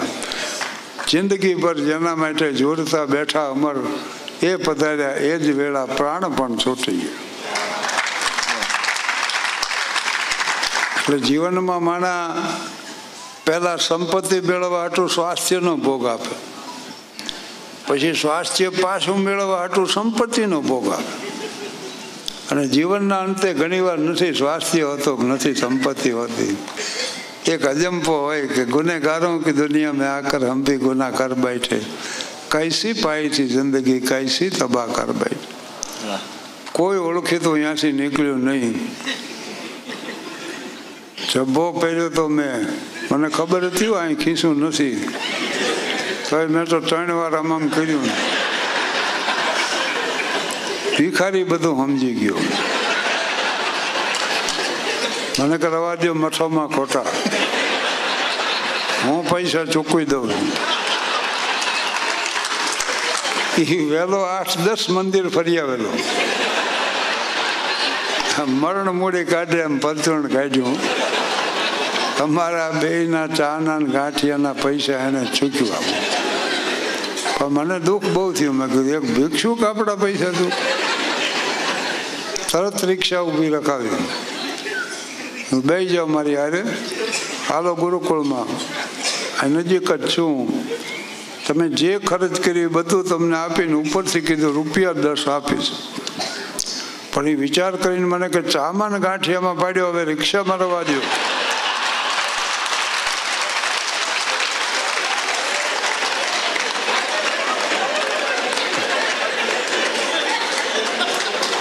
ચામાં ગાંઠિયામાં પાડ્યો મને. હવે રિક્ષામાં રવા દો મેં કીધું, ભલામણા, થોડોક તો વિશ્વાસ હોય હું ગમે એમ તો કલાકાર છું. મને કે કલાકાર છો, ને કે ભિખારી પાસે કોઈ પૈસો ન કઢાવ્યો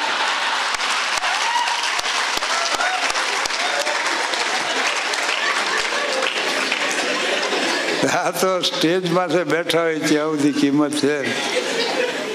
બાકી તો અહીંયા સ્ટેશન જઈને બેઠા હોય અને બે ત્રણ બાવા હોય, અમદાવાદમાં અમારે પ્રોગ્રામ પૂરો થાય ને, પછી સ્ટેશન જઈને બે એટલે હાવ રેફરન્સ વગરની વાતો શરૂ થાય. કારણ કે કલાકારની જિંદગી છે ને the life of an artist is just like the candle burning at both the ends No one can stop it. One can see only how nicely does it burn. બે છડે હળકતી મીણબત્તી જેવું આ જીવન છે બધા જોઈએ કે હો કે વાહ, બહુ સારી પ્રજ્વળ કોઈ એને રોકી ન શકે જે સંવેદન સુખદ હોય કે દુઃખદ હોય, તમને સુખદ સંવેદનનો અનુભવ કરાવો હોય દુઃખદનો પણ એ સંવેદન કલાકારે તો અનુભવેલું હોવું જ જોઈએ. કારણ કે આપ એ રંગાય વિના અર્ન લાગે રંગ. પહેલે તો દીપક જલે, પીછે જલે પતંગ. આભાર, ધન્યવાદ. એક નાની એવી સૂચના અને પછી એક ઇન્ટરવલ છે. ત્યારબાદ ફરી આપણે ભેગા થઈએ. ઘણા બધા લોકો એવું કીધું છે કે સાબુદ્દીન સાહેબ સાથે ફોટા પડાવવા છે, ખલીલ સાહેબ સાથે ફોટા પડાવવા છે, વાત કરવી છે. આખો એક પ્રોગ્રામ પૂરો થાય પછી આપણે આ સ્ટેજને એ આપણે ફોટો પાડવા માટે તમે બધા જ આવી શકો છો અહીંયા. પણ કાર્યક્રમ આખો પૂરો થાય પછી. એક ભાઈ અંદર પણ આવી ગયો હતો. સાબુદ્દીન સાહેબને કે સાહેબ મારે તમારી સાથે ફોટો પડાવવો છે. એટલે સાહેબે કીધું, શું કામ ભાઈ, શું કામ ફોટો પડાવવો છે? એટલે ઓલાએ જે હતું એ કહી દીધું, બિચારો ભોળામનનો એ કે, સાહેબ, મારા લગ્ન નથી થયા. તમારી સાથે એકવાર ફોટો પડાવું ને એક ફોટો પડાવું તો એકવાર લગ્ન થઈ જાય. એ સાહેબ કે, સારું. હા. એટલે સાહેબ કે સારું કે પડાવી લ્યો. એટલે એણે એક ફોટો પાડ્યો ને પછી એક સેલ્ફી લીધી. એટલે સાહેબે કીધું એ કે તમે દુઃખી ડબલ થશો. ઓકે કેમ? તમે કીધું હતું એક ફોટો પડાવું તો એકવાર લગ્ન થઈ જાય, તમે ફોટા બે પડાવ્યા. એટલે જે લોકોને મળવું છે, જે લોકોને વાત કરવી છે કે ફોટો પડાવવો છે, આપણે કાર્યક્રમ પૂરો થાય ત્યારબાદ મળશું. અત્યારે માત્ર સાત મિનિટ અને બાવીસ સેકન્ડનો વિરામ.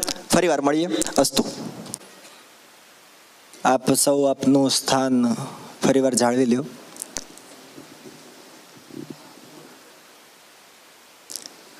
બીજી કોઈ વધારે વાત ન કરતા સીધા જ ખલીલ સાહેબને રજૂ કરવા છે. બંને એટલો લાભ લેવો છે, બંને દિગ્ગજોનો. તો ફરીવાર ખલીલ સાહેબને વિનંતી કરું કે સાહેબ, ફરીવાર જમાવટ બોલાવો. મને એક ભાઈ આવીને કહી ગયા કે હજી અમારે વાહ વાહ બોલવું છે, તો શું કરવાનું? મેં તો સારું, હું કહું છું. એટલે ફરીવાર રજૂ થાય છે ખલીલ ધંધેજવી અમારે ત્યાં ફળિયું છે ને અહીંયા સૌરાષ્ટ્રમાં ફળિયું એટલે વંડી કહેવાય. અમારે ત્યાં શેરીને ફળિયું કહેવાય, અમારે, અમારા બાજુ. આખું ફળ્યું એટલે આખી શેરી. ગામ આખામાં વખણાતો રહ્યો, તારા ફળિયામાં ભોગવાતો રહ્યો. ગામ આખામાં હું વખણાતો રહ્યો, તારા ફળિયામાં ભોગવવાતો રહ્યો, તારું હસવું એ તારી આદત હતી અને હું અમસ્તો મનમાં મૂંઝાતો રહ્યો. સાબુદ્દીનભાઈએ એમણે એમને વિષય બારની શાયરી સંભળાવી. અને હું મારા વિષય બારની હ્યુમર થોડું સંભળાવી દઉં. ચાલે ને? અને બે ઘટના, સાચી ઘટના કહીશ તમને જોક્સ નથી કહેતો, પણ આ સેન્સ ઓફ હ્યુમર્સ કવિતા કે વાર્તા જે કંઈ હોય છે આત્મા કલા એ અનાયાસ જ આવતી એના માટે પ્રયાસ ના હોય. પ્રયાસોથી કશું કવિતા ન બની શકે ગઝલ ન બની શકે એના માટે બાકી કેટલાય સાબોદીન પેદા થઈ ગયા હોત જોકે એમની નકલ એમના બધા ઉધાર લોકો ઉછીના લઈને બધા જીવે છે એમના દીવો લઈને એમના દીવાથી દીવો સળગાવીને લોકો ફરે છે એવા બી છે અને અમારે બી ગઝલમાં એવું થાય વિચારો અમારા શબ્દો અમે ગોઠવે ને ગઝલને અમે એસેમ્બલ કરે છે આ લોકો એટલે કલમથી નથી લખતા પકડ પાનો લઈને બેઠી બેસી જાય છે ગઝલ પીટ કરી દે છે એટલે આવું ચાલ્યા કરે છે હવે સત્ય ઘટનાની વાત કરું સાબુદ્દીનભાઈ. અમે એક વખત છોટા છોટાઉદેપુરથી મુશારો કરીને પાછા આવતા હતા. માહિતી ખાતાનો, ગવર્મેન્ટની જીપ હતી. એમાં રમેશ પારેખ, હું, મનોજ ખંડેરિયા, ચીનુ મોદી રાજેન્દ્ર શુક્લ, આવા બધા હતા અમે. હવે અમે બીડીપી હું ત્રીસ નંબરની બીડી પીવું. અને મારે બીડી ખૂટી. તો મારે, મારી બ્રાન્ડની બીડી રમેશ પારેખ પીએ એ ત્રીસ નંબરની પીએ બીજું કોઈ નહીં રાજેન્દ્ર શુક્લ ટેલિફોન ચાપ બીડી પીવે, જલન માત્રી ટેલિફોન ચાપ બીડી પીએ બીજો કોઈ બીજું બીડી પીએ હવે ત્રીસ નંબર બીડી પીનાર હું ને રમેશ. એટલે હું વિચ- વિચ- વિચારતો હતો કે રમેશ પાસે એવું બીડી? માગું. પણ હું માગું એ પહેલાં એણે મારી પાસે માગી. કે બીડી આપ, મેં તારે ખોટી કે આ ખોટું કે છે? પછી રસ્તામાં એક લારી ચાની આવી ત્યાં ચા પીવા માટે ઊભી ઊભા રહ્યા અમે. બાજુમાં પાનબીડીનો એક ગલ્લો હતો. તમે એને રમેશને કહ્યું છે મેં કહ્યું, આ પાન બીડીનો ગલ્લો છે એમાં બીડી મળશે આપણી. પૂછ્યું તો એના પાસે ત્રીસ નંબર નહોતી.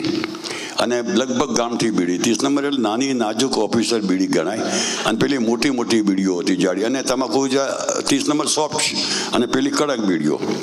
જાડી જાડી બીડીઓ. ને બધી બીડીઓ તપાસી જોઈ રમેશ પારેખ અને પછી છેલ્લે કહ્યું કે સોફેસ્ટિકેટેડ માણસ જે બીડી પીવે તે આપને તો પેલા ગામડા મળે અને સોફેસ્ટિકેટેડને સમજમાં ના પડે. તે કહે છે કે એટલે શું એમ કે? તો મેં કહ્યું, મેં કોઈ સારા માણસ જે બીડી પીતા હોય તે મને આપશે પેલો કે સારા માણસ બીડી જ ન પીએ ને. એટલે આ આ sense of humour on the spot સારા માણસ બીડી જ ન પીવે ને. બીજું હું મેં પચીસ વર્ષ સ્કૂટર લાયસન્સ વગર ચલાવ્યું. મારી સામે જોબ તમે તમને સમજાવું પચીસ વર્ષ સુધી લાઇસન્સ વગર સ્કૂટર ચડાવ્યું. પણ આગળ પેલું પ્રેસ લખેલું અને પોલીસવાળો રોકવે નહીં એમને કોઈને. પછી કાર આવીને કાર ચલાવે. તો દીકરાઓ કહે, પપ્પા, તમે લાયસન્સ વગર કાર નહીં ચલાવો. મેં કહું, મને કોઈ પકડે નહીં. કે, પકડવાનું સવાને પણ એક્સિડન્ટ થાય તો તમે ગુનેગાર ગણાવો. પેલો વીમાવાળો હોય, તમે કહે, તમે લાયસન્સ વગર ગાડી ચલાવતા ના.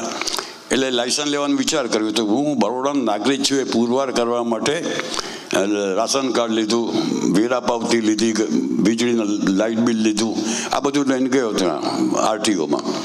આરટીઓ વાળો કહે છે કે આ ના ચાલે, અમારે આ ના જોઈએ, અમારે ખાલી લિવિંગ સર્ટિફિકેટ જોઈએ સ્કૂલનું.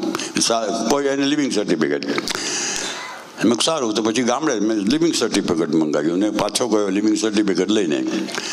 તો લિવિંગ સર્ટિફિકેટ જોઈને મને કહે છે, આ એકદમ સત્ય ઘટના છે. અને જે જડતા આપણા અધિકારીઓમાં જે જડતા છે એની વાત છે આ. મેં એને લિવિંગ સર્ટિફિકેટ જોઈને મને કહે છે કે આમાં તો ચોથું ધોરણ લખાવ્યું છે. તમે કહું જેટલું ભણ્યા હોય એટલું જ હોય ને. તો કે તો તમને ના મળે. મેં કેમ છે કે ઓછામાં ઓછું આઠમું ભણેલું જોઈએ. મેં કોઈ યાર, હવે આ ઉંમરે હું આઠમું ધોરણ ભણવા ક્યાં જાઉં? એને મેં કહ્યું. તો કે, યાર, તો પણ કાયદો છે. પછી મેં પૂછ્યું, ચાલો, મેં હેતુ શું? આઠમું જ ધોરણ શા માટે? કંઈ એની પાછળ કોઈ હેતુ કરો તો ચોથા પાંચમા ધોરણ છોકરાને વાંચતા લખતા નથી આવડતું. એટલે આઠમું ધોરણ જોઈએ. મેં સવાલ વાંચવાનો છે. તો હા વાંચવાનો છે? તમે કહો સાંભળે મેં પચીસ વર્ષ ફૂલ ટાઈમ પત્રકારત્વ કર્યો છે. રિપોર્ટરથી નિવાસી તંત્રી સુધી પહોંચ્યો છું. મેં બાવીસ નવલકથાઓ લખી છે. મેં મારા આઠ નવ ગુજરાતી ગઝલ સંગ્રહ બહાર પડી ગયા છે. એક ઉર્દુ ગઝલ સંગ્રહ બહાર પડ્યો છે. મારી ઉર્દુ ગઝલો જગજીતસિંહ ગાય છે, ગુજરાતી ગઝલો મનોહર ઉદાસ ગાય અને ચાર છોકરાઓ મારા મારા સાહિત્ય પર સંશોધન કરીને પીએચડીની ડિગ્રી મેળવી છે. ચાર છોકરાઓએ અને ત્રણ ત્રણ છોકરીઓએ એમ ફીલ કર્યું છે. આ બધું ભેગું કરું તો આઠમું ધોરણ થાય તો કે ના થાય? મેં આટલું બધું ભેગું કરતો કે આઠમું ધોરણ ના થાય. મેં કેમ ના થાય? તો પુરાવો જોઈએ ને મારે તો મેં આખી નવલ, નવલકથા આપી દઉં.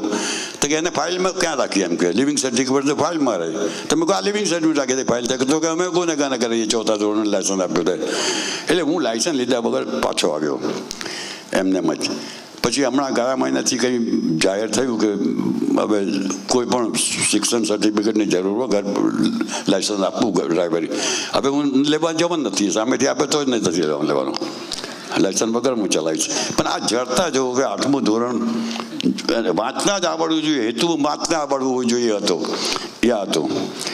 એટલે આ એક કેવી કેવી ઘટના પણ એ સ્કૂટર લઈને એકવાર હું અમારા ટાઉન હોલ છે બરોડામાં એને યુ ટર્ન લેવાનું હોય છે વન વે હતો એટલે. આમ યુ લેતા ને મારી નજર પેલા બોર્ડ ઉપર, નાટકોના બોર્ડ ઉપર હતું.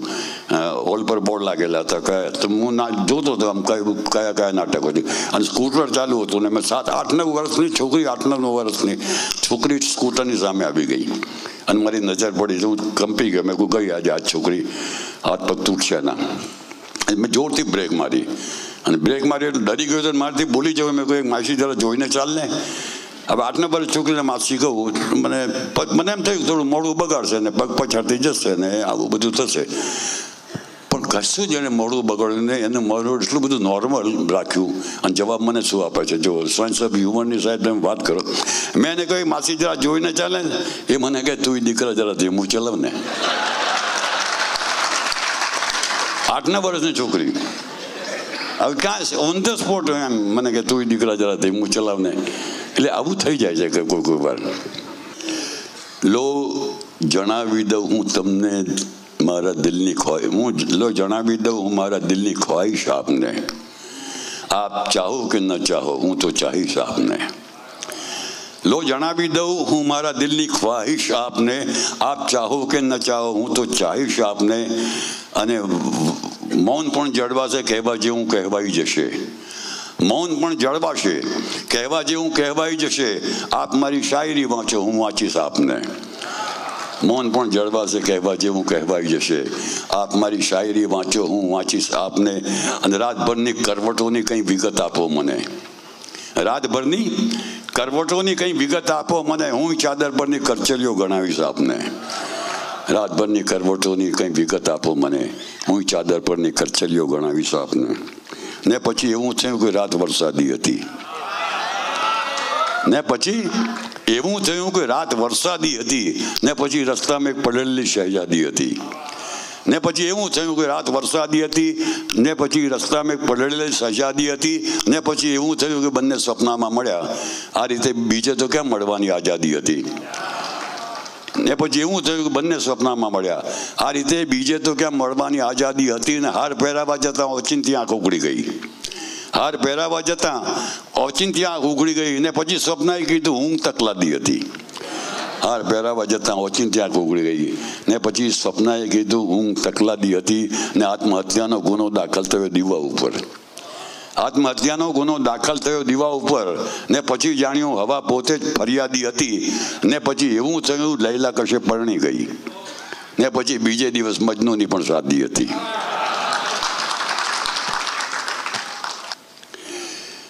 તને તારી પાસેથી માગું હું એવી દુઆ માગવાની તું પરવાનગી દે.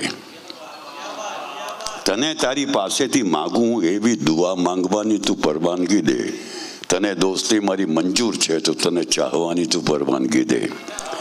તને તારી પાસેથી માગું હું એવી દુઆ માંગવાની તું પરવાનગી દે. તને દોસ્તી મારી મંજૂર છે તો તને ચાહવાની તું પરવાનગી દે. હું દરિયાની લહેરોની માફક નથી કે કિનારાને સ્પર્શીને પાછો વળી જાઉં. હું દરિયાની લહેરોની માફક નથી કે કિનારાને સ્પર્શીને પાછો વળી જાઉં. હું આંખોના ઉંબર લગો લગ ઊભો છું. હૃદય લગ જવાની તું પરવાનગી દે. હું આંખોના ઉંબર લગો લગ ઊભો છું. હૃદય લગ જવાની તું પરવાનગી દે તું મકતા વગરની કુંવારી ગઝલ છે. ગઝલમાં મકતા એટલે છેલ્લે શેરો એમાં કવિનું નામ હોય, એને મકતા કહેવાય, કવિનું નામ. એટલે ખબર પડે કે આ ગઝલ કોની છે. આ આને મકતા નથી લાગ્યો.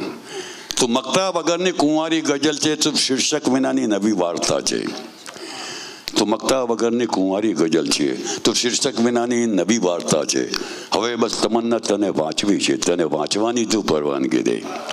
હવે બસ તમન્ના તને વાંચવી છે. તને વાંચવાની તું પરવાનગી દે ને ભલે તું અછાંદસ છે તો પણ તું જોજે તરન્નુમ પ્રગટશે તારા હોઠમાંથી. ભલે તું અછાંદસ છે તો પણ તું જોજે તરન્નુમ પ્રગટશે તરન્નુમ પ્રગટશે તારા હોઠમાંથી. ગઝલ જેમ મારે તને છેડવી છે. તને છેડવાની તું પરવાનગી દે. ગઝલ જેમ, મારે તને છેડવી છે, તને છેડવાની પરવાનગી દે અને બીજે તારો ચહેરો તારી સામે ધરવો હતો ત્યારે તું ક્યાં હતી? તારો ચહેરો તારી સામે ધરવો હતો ત્યારે તું ક્યાં હતી અને મારા હાથોમાં જ્યારે અરીસો હતો ત્યારે તું ક્યાં હતી? તારો ચહેરો તારી સામે ધરવો હતો. ત્યારે તું ક્યાં હતી? મારા હાથોમાં જ્યારે અરીસો હતો, ત્યારે તું ક્યાં હતી? અને મોસમ આવી હતી, ગુલદસ્તો દેતી ગઈ ને હું જોતો રહ્યો. એક કૂંપળનો કોરો દિલાસો હતો, ત્યારે તું ક્યાં હતી? તું નહીં, છત નહીં, તારી દિવાલનો છાંયડો પણ નહીં.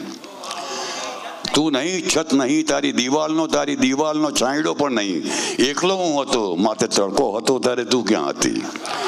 તું નહીં, છત નહીં. તારી દિવાલનો છાંયડો પણ નહીં.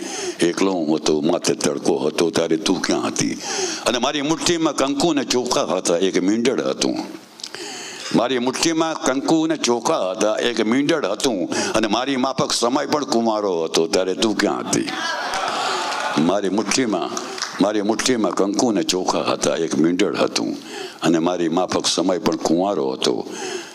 ત્યારે તું ક્યાં હતી? ને કાલ મહેફિલમાં ધનતેજવી પણ તને યાદ કરતા હતા. કાલ મહેફિલમાં ધનતેજવી પણ તને યાદ કરતા હતા. ચો તરફ સેલ્ફીનો તકાજો હતો ત્યારે તું ક્યાં હતી? ચો તરફ સેલ્ફીનો તકાજો હતો ત્યારે તું ક્યાં હતી? હું જીવું છું હજી. એ જ પૂરતું છે બસ. એને પૂછો કે કેવું જીવાયું હતું?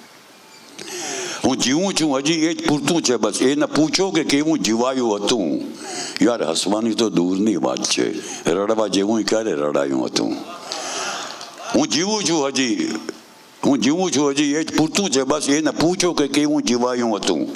યાર, હસવાની તો દૂરની વાત છે. રડવા જેવું ક્યારે રડાયું હતું? અને હાથ જાલીને ચાલ્યા હતા તો ક્યાં બંને વચ્ચેનું અંતર કપાયું હતું?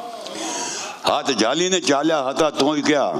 બંને વચ્ચેનું અંતર કપાયું હતું. આપણે એકબીજાને ભેટી પડ્યા. દિલથી તે દિલ સુધી ક્યાં જવાયું હતું? હાથ જાલીને ચાલ્યા હતા તો ક્યાં? બંને વચ્ચેનું અંતર કપાયું હતું. આપણે એકબીજાને બેઠી પડ્યા. દિલથી તો દિલ સુધી ક્યાં જવાયું હતું?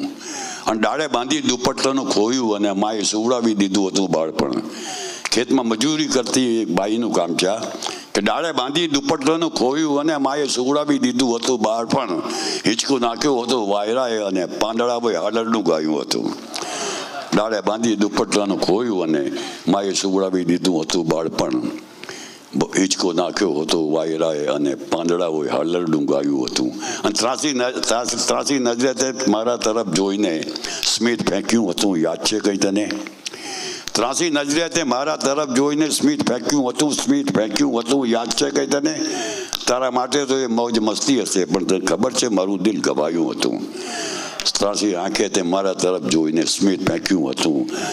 યાદ છે કંઈ તને? તારા માટે તો એ મોજ મસ્તી હશે, પણ ખબર છે મારું દિલ ગવાયું હતું. અને આપણામાં એ લૈલા એ મજનુ હતી. જેણે બદનામ થઈ મેળવી નામના. આપણામાં એ લૈલા એ મજનુ નથી જેણે બદનામ થઈ મેળવી નામના. એકબીજાના બંને દીવાના હતા. આપણાથી ક્યાંય એવું થવાયું હતું? એકબીજાના બંને દીવાના હતા એકબીજાના બંને દીવાના હતા. આપણાથી ક્યાંય એવું થવાયું હતું? અહીંયા બુદ્ધ સભાના ઘણા બધા કવિઓ પણ આવ્યા છે. અને એમણે એવી વિનંતી કરી કે અમે ફરમાઈશ કરીએ અને એ પ્રમાણે જો થઈ શકે તો વધારે સારું. અમિતાનું કહેતા હતા. હાજી અમિતા. એ નજમ છે ગઝલ નથી અમિતા મારી દુનિયામાં ના આયુષ્ય દુઃખ સહન કરો આ પચાસ વર્ષ પહેલાંની ગઝલ નજમ છે પચાસ વર્ષ પહેલાં જે બાવીસ બાવન વર્ષ પહેલાં મેં લખી હતી એ એ વખતની સ્થિતિ છે આમાં અમિતા મારી દુનિયામાં ના આવીશ દુઃખ સહન કરવા તું જ્યાં છે ત્યાં જ રહેજે ત્યાં નરી જાહો જલાલી છે અને જ્યાં હું રહું છું ત્યાં નહીં રહેવાય તારાથી વગર મોતે તો જિંદગીની પાયમાલી છે અમિતા મારી દુનિયામાં ના આવીશ નુકસાન કરવા. તું જ્યાં છે, ત્યાં જ રહેજે. ત્યાં નરી જાહો જલાલી છે. અને જ્યાં હું રહું છું, ત્યાં નહીં રહેવાય તારાથી. વગર મોતે અહીં તો જિંદગીની પાયમાલી છે. અને સમય પલટી ગયો આજે અને સંજોગો પ્રતિકૂળ છે. સમય પલટી ગયો આજે ને સંજોગો પ્રતિકૂળ છે. વિચારું છું કે શી રીતે હવે નપશે જીવન મારું. શી રીતે નપશે જીવન મારું, વ્યથાઓ વેદનાઓથી અધિક છે ભૂખની પીડા. ઉદરની આગને ઠારી નહીં શકશે કવન મારું. તું ગાતી હતી અમિતા પ્રેમથી જે મારા ગીતોને, એ ગીતોને દુકાનો પર સજાવી મૂકવા પડશે. અને ગરીબી એક દિવસ વેચાવશે મારા ગીતોને. જગતમાં પેટ ભરવા મારે ગીતો વેચવા પડશે. જગતમાં પેટ ભરવા મારે ગીતો વેચવું અને હવે તો માત્ર મારા ગીત બસ એક મારી મિલકત છે. ને એ પણ મારી પાસેથી આ દુનિયા ઝૂંટવી લેશે. હવે તો માત્ર મારા ગીત બસ એક મારી મિલકત છે અને હવે અને એ પણ મારી પાસેથી આ દુનિયા ઝૂંટવી લેશે. મને થોડા નજીવા પૈસાની લાલચ બતાવીને કોઈ ધનમાન મારા ગીત પોતાના કરી લેશે અમિતા, મારી દુનિયામાં ના આવીશ નુકસાન કરવા. તું જ્યાં છે ત્યાં જ રહેજે. ત્યાં નરી જાહો જલાલી છે. અને જ્યાં હું રહું છું, ત્યાં નહીં રહેવાય તારે તારાથી વગર મોતે અહીં તો જિંદગીની પાયમાલી છે. ત્યારે એવું હતું કે કલાકાર પોતાની કલા ન વેચે એમ. એવું એક રિએક્શન આવ્યું. મેં ગીતો વેચવાની વાતને જાહેર કરી ત્યારે અમિતા થઈ ગઈ તું એકદમ નારાજ મારાથી મેં ગીતો વેચવાની વાતને જાહેર કરી ત્યારે અમિતા થઈ ગઈ તું એકદમ નારાજ મારાથી તો સાંભળ, ગીત વેચું છું, કશું બીજું નથી કરતો. ને બીજું તો નહીં સહેવાય તારાથી. જીવન જીવાય એવું તો અમિતા, તારું જીવન છે. મને તો તારા સામે મારું જીવન બેકાર લાગે છે. જીવન જીવાય એવું તો અમિતા, તારું જીવન છે. મને તો તારા સામે મારું જીવન બેકાર લાગે છે. અને જ્યારે જ્યારે ભૂખની પીડા સતાવે છે મને, ત્યારે આ મારા ગીત, આ મારું કવન બેકાર લાગે છે. જીવન જીવાય એવું તો અમિતા, તારું જીવન છે. મને તો તારા સામે મારું જીવન બેકાર લાગે છે. અને જ્યારે ભૂખની પીડા સતાવે છે મને, ત્યારે આ મારા ગીત, આ મારું કવન બેકાર લાગે છે. અમિતા, હું કોઈની ઝૂંપડીનો કુળ દીપક છું. અને તું તો કોઈ ધનવાનના મહેલોની શોભા છે. અમિતા, હું કોઈની ઝૂંપડીનો કુળ દીપક છું અને તું તો કોઈ ધનવાનના મહેલોની શોભા છે. મને તન ઢાંકવા પૂરતા હજી વસ્ત્રો નથી મળતા. અને તારા ઘરના બારી બારને રેશમના પડદા છે.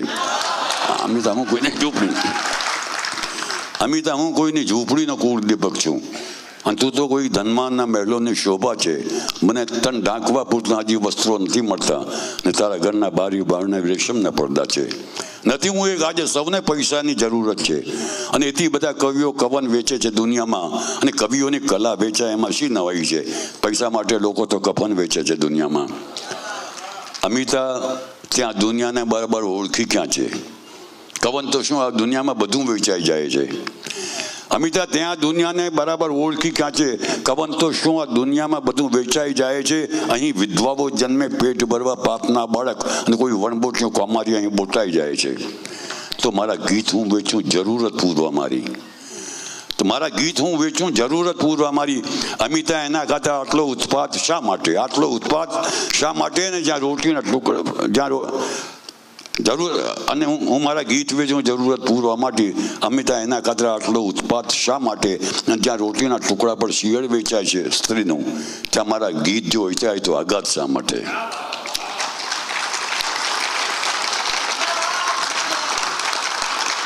એક આવી એક ઉર્દુ ને તમે સંભળાવી દઉં. ઉર્દુ ચાલશે ને? એમાં એક વ્યક્તિ જાહેરમાં એની ઇમ્પ્રેશન કેવી છે આંતરિક એના કેવી એનું જી- આંતરિક જીવન કેવું છે એનું આખું રૂપ છે એનું પહેલાં જાહેરની વાત કરું જાહેરનું ઇમ્પ્રેશન એની કે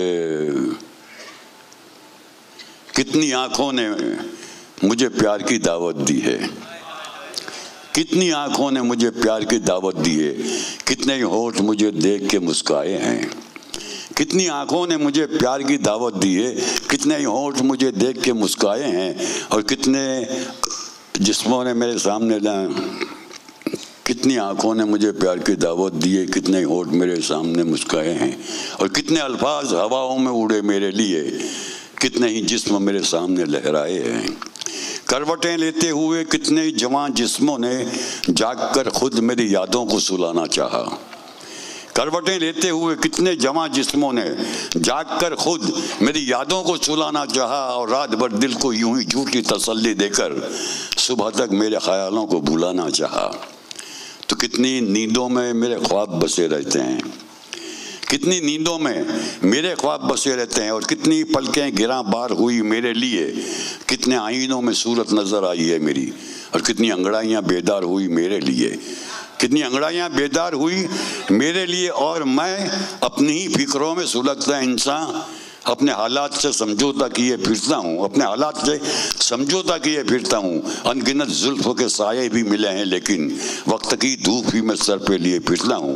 वो तबस्सुम, वो निगाहें, वो गुलाबी चेहरे, भूख लगती है तो इन सबको बुला देती है।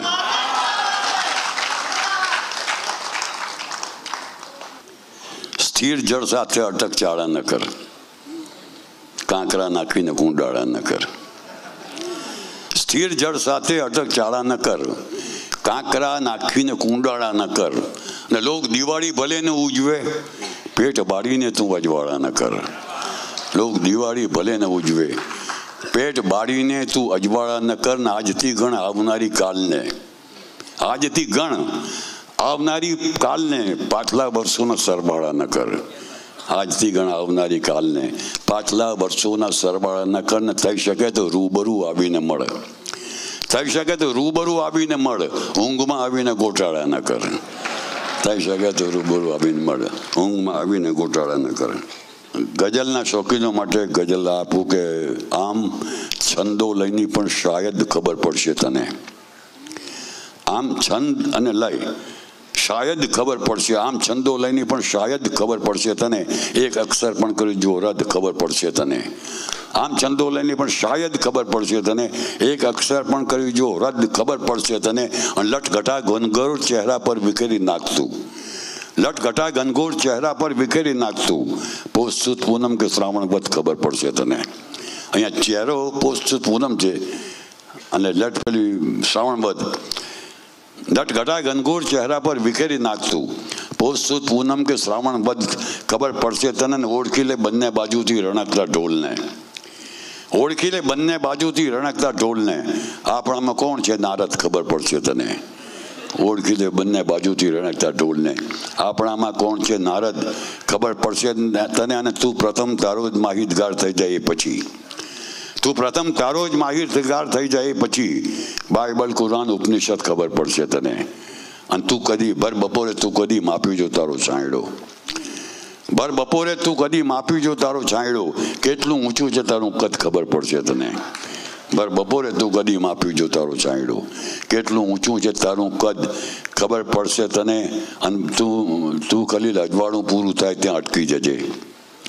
ક્યાંથી લાગી મારા ઘરની હદ ખબર પડશે તને.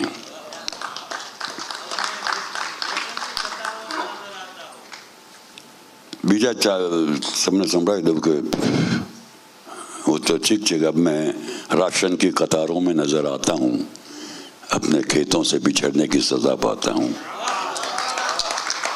इतनी महंगाई के बाजार से कुछ लाता हूँ अपने बच्चों मुँह से बांटते शर्माता हूँ पर कभी हंसा के गया फिर कभी रुला के गया गरज के वो मुझे हर तरह आजमा के गया। हर तरह आजमा के गया और मैं अपने मुँह से बड़ी बात तो नहीं करता। मैं अपने मुँह से बड़ी बात तो नहीं करता, यहाँ का ज़िले इलाही भी घर पे आके गया। मैं अपने मुँह से बड़ी बात तो नहीं करता। यहाँ का ज़िले इलाही भी घर पे आके गया और गजब तो ये कि उजालों की सल्तनत वाला। गजब तो ये कि उजालों की सल्तनत वाला मेरे चिराग से अपना दिया जला के गया। गजब तो ये कि उजालों की सल्तनत वाला मेरे चिराग से अपना दिया जला के गया। बीजी चार पंक्ति के चोट पर चोट सही, मुँह से कुछ कहा ही नहीं। चोट पर चोट सही, मुँह से कुछ कहा ही नहीं। हम अगर ये न समझना कि दिल दुखा ही नहीं। चोट पर चोट सही, मुँह से कुछ कहा ही नहीं। हम अगर ये न समझना कि दिल दुखा ही नहीं, और जो हुआ वो किसी अखबार में छपा ही नहीं। जो हुआ वो किसी अखबार में छपा ही नहीं और जो छप गया ऐसा तो कुछ हुआ ही नहीं હવાનો હાથ જાલીને રખડતા આવડી ગયું છે મને ખુશ્બુની દુખતી રગ પકડતા આવડી ગયું છે હવાનો હાથ જાલીને રખડતા આવડી ગયું છે મને ખુશ્બુની દુખતી રગ પકડતા આવડી ગયું છે અને બધા ખમતી દરો વચ્ચે અમારી નોંધ લેવાશે ભરી મહેફિલમાં સૌની નજરે ચડતા આવડી ગયું છે ભરી મહેફિલમાં સૌની નજરે ચડતા આવડી ગયું છે અને હવે આનાથી નાજુક સ્પર્શ બીજો હોય પણ ક્યાંથી? નાજુક સ્પર્શ હળવેથી સ્પર્શ અને કેટલી હળવાશની માત્રા તમે જુઓ. હવે આનાથી નાજુક સ્પર્શ બીજો હોય પણ ક્યાંથી? મને પાણીના પરપોટાને હળતા આવડી ગયું છે. હવે આનાથી નાજુક સ્પર્શ બીજો હોય પણ ક્યાંથી? મને પાણીના પરપોટાને અડતા આવડી ગયું છે અને હવે તો નાગને પણ ઝેર ખાવાનો વખત આવ્યો. મદારીને હવે માણસ પકડતા આવડી ગયું છે. સુખ ચેન તો કર્તવ્ય વગર ક્યાંથી લાવશો? સુખ ચેન તો કર્તવ્ય વગર કર્તવ્ય વગર ક્યાંથી લાવશો? તમને દુઆ તો મળશે, અસર ક્યાંથી લાવશો? સુખ ચેન તો કર્તવ્ય વગર ક્યાંથી લાવશો? તમને દુઆ તો મળશે, અસર ક્યાંથી લાવશો? અને બંગલો તો ઓછા વધતે ગમે ત્યાં મળી જશે. ઘર ઘર કહી શકાય, ઘર ક્યાંથી લાવશો? બંગલો તો ઓછા વખતે ગમે ત્યાં મળી જશે. ઘર ઘર કહી શકાય, એ ઘર ક્યાંથી લાવશો ને શંકરની જેમ નાગને મફલર કરી શકો. શંકરની જેમ નાગને મફલર કરી શકો, પણ ઝેર પી જવાનું જીગર ક્યાંથી લાવશો? શંકરની જેમ નાગને મફલર કરી શકો, પણ ઝેર પી જવાનું જીગર ક્યાંથી લાવશો? પણ ઝેરનો તો પ્રશ્ન ક્યાં છે? ઝેર તો હું પી ગયો. ઝેરનો તો પ્રશ્ન ક્યાં છે? ઝેર તો હું પી ગયો. આ બધાને જ વાંધો છે કે હું જીવી ગયો. ઝેરનો તો પ્રશ્ન ક્યાં છે? ઝેર તો હું પી ગયો. આ બધાને જ વાંધો છે કે હું જીવી ગયો. હું કોઈનું દિલ નથી, દર્પણ નથી, સપનું નથી. તો પછી સમજાવ કે હું શી રીતે તૂટી ગયો? હું શી રીતે તૂટી ગયો? અને કંઈક વખત એવું બન્યું કે છેક અંતિમ શ્વાસ પર. કંઈક વખત એવું બન્યું કે છેક અંતિમ છેક અંતિમ શ્વાસ પર મોતને વાતોમાં વળગાડીને હું સરકી ગયો. કંઈક વખત એવું બન્યું કે છેક અંતિમ શ્વાસ પર મોતને વાતોમાં વળગાડીને હું સરકી ગયો અને મેં મેં જરા આમથી હવા ચાકી હતી, પાંખ મારી કાતરી નાખી હતી. મેં જરા આમથી હવા ચાકી હતી, પાંખ મારી કાતરી નાખી હતી, દાદના આપી તો મેં પડતી મૂકી, મારી પાસે તો ગજલ આખી હતી. બે જણ આવ્યા, મળ્યા, છૂટા પડ્યા ઘટના વગર. બે જણ આવ્યા, મળ્યા. છૂટા પડ્યા ઘટના વગર. જાણે આખું ચોમાસું ચાલ્યું ગયું ગાજ્યા વગર. અને દાંત ન મળતા ગઝલની એવી હાલત થઈ ગઈ, જેમ કોઈ કન્યા પરણી જાય મોસાળા વગર. તો તમે મન મૂકી વળશો ઝાપટું આપણને નહીં ફાવે. તમે મન મૂકી વર્ષો ઝાપટું આપણને નહીં ફાવે. અમે હેલીના માણસ, માવઠું આપણને નહીં ભાવે તમે મનમુખી વર્ષો ઝાપટું આપણને નહીં ભાવે. અમે હેલીના માણસ. માવઠું આપણને નહીં ભાવે. કહો તો માછલીની આંખમાં ડૂબકી દઈ આવું. કહો તો માછલીની આંખમાં ડૂબકી દઈ આવું. પણ તું ચીચરું છું આપણને નહીં ભાવે. અને તું નહીં આવે તો નહીં આવવું પણ ભાવશે અમને. તું નહીં આવે તો નહીં આવવું પણ ભાવશે અને અમને. ઘરે આવી તારું પાછું જવું આપણને નહીં ભાવે. ઘરે આવી તારું પાછું જવું આપણને નહીં ભાવે અને તને ચાહું અને તારા ચાહનારાઓને પણ ચાહું. તને ચાહું તને ચાહું અને તારા ચાહનારાઓને પણ ચાહું. તું દિલ આપી દે પાછું. આ બધું આપણને નહીં પાવે તને ચાહું.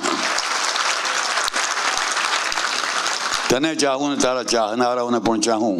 તું દિલ આપી દે પાછું. આ બધું આપણને નહીં ફાવે ને તમાચો ખાઈ લઉં ગાંધીગીરીના નામ પર હું પણ. તમાચો ખાઈ લઉં ગાંધીગીરીને નામ પર હું પણ પણ આ પત્નીને બા સંબોધું આપણને નહીં પાવે તમાચો ખાઈ તમાચો ખાઈ લઉં ગાંધીગીરીના નામ પર હું પણ પણ આ પત્નીને બા સંબોધું આપણને નહીં ફાવે અને છેલ્લે, ક્યાંક મળો તો રોકી લેજો બીજું શું? ક્યાંક મળો તો રોકી લેજો બીજું શું? તબિયત બબિયત પૂછી લેજો બીજું શું? અને આપ અમારી જોડે રહેજો. ના ભાવે તો વળતી ગાડી પકડી લેજો બીજું શું? ક્યાંક મળો તો રોકી લેજો, બીજું શું? તબિયત વબિયત પૂછી લેજો, બીજું શું? આપ અમારી જોડે રહેજો, ના ભાવે તો વળતી ગાડી પકડી લેજો. બીજું શું? અને પરસેવાની સોડમ લઈને પત્ર લખ્યો છે. પરસેવાની સોડમ લઈને પત્ર લખ્યો છે. અત્તર છાંટી વાંચી લેજો, બીજું શું?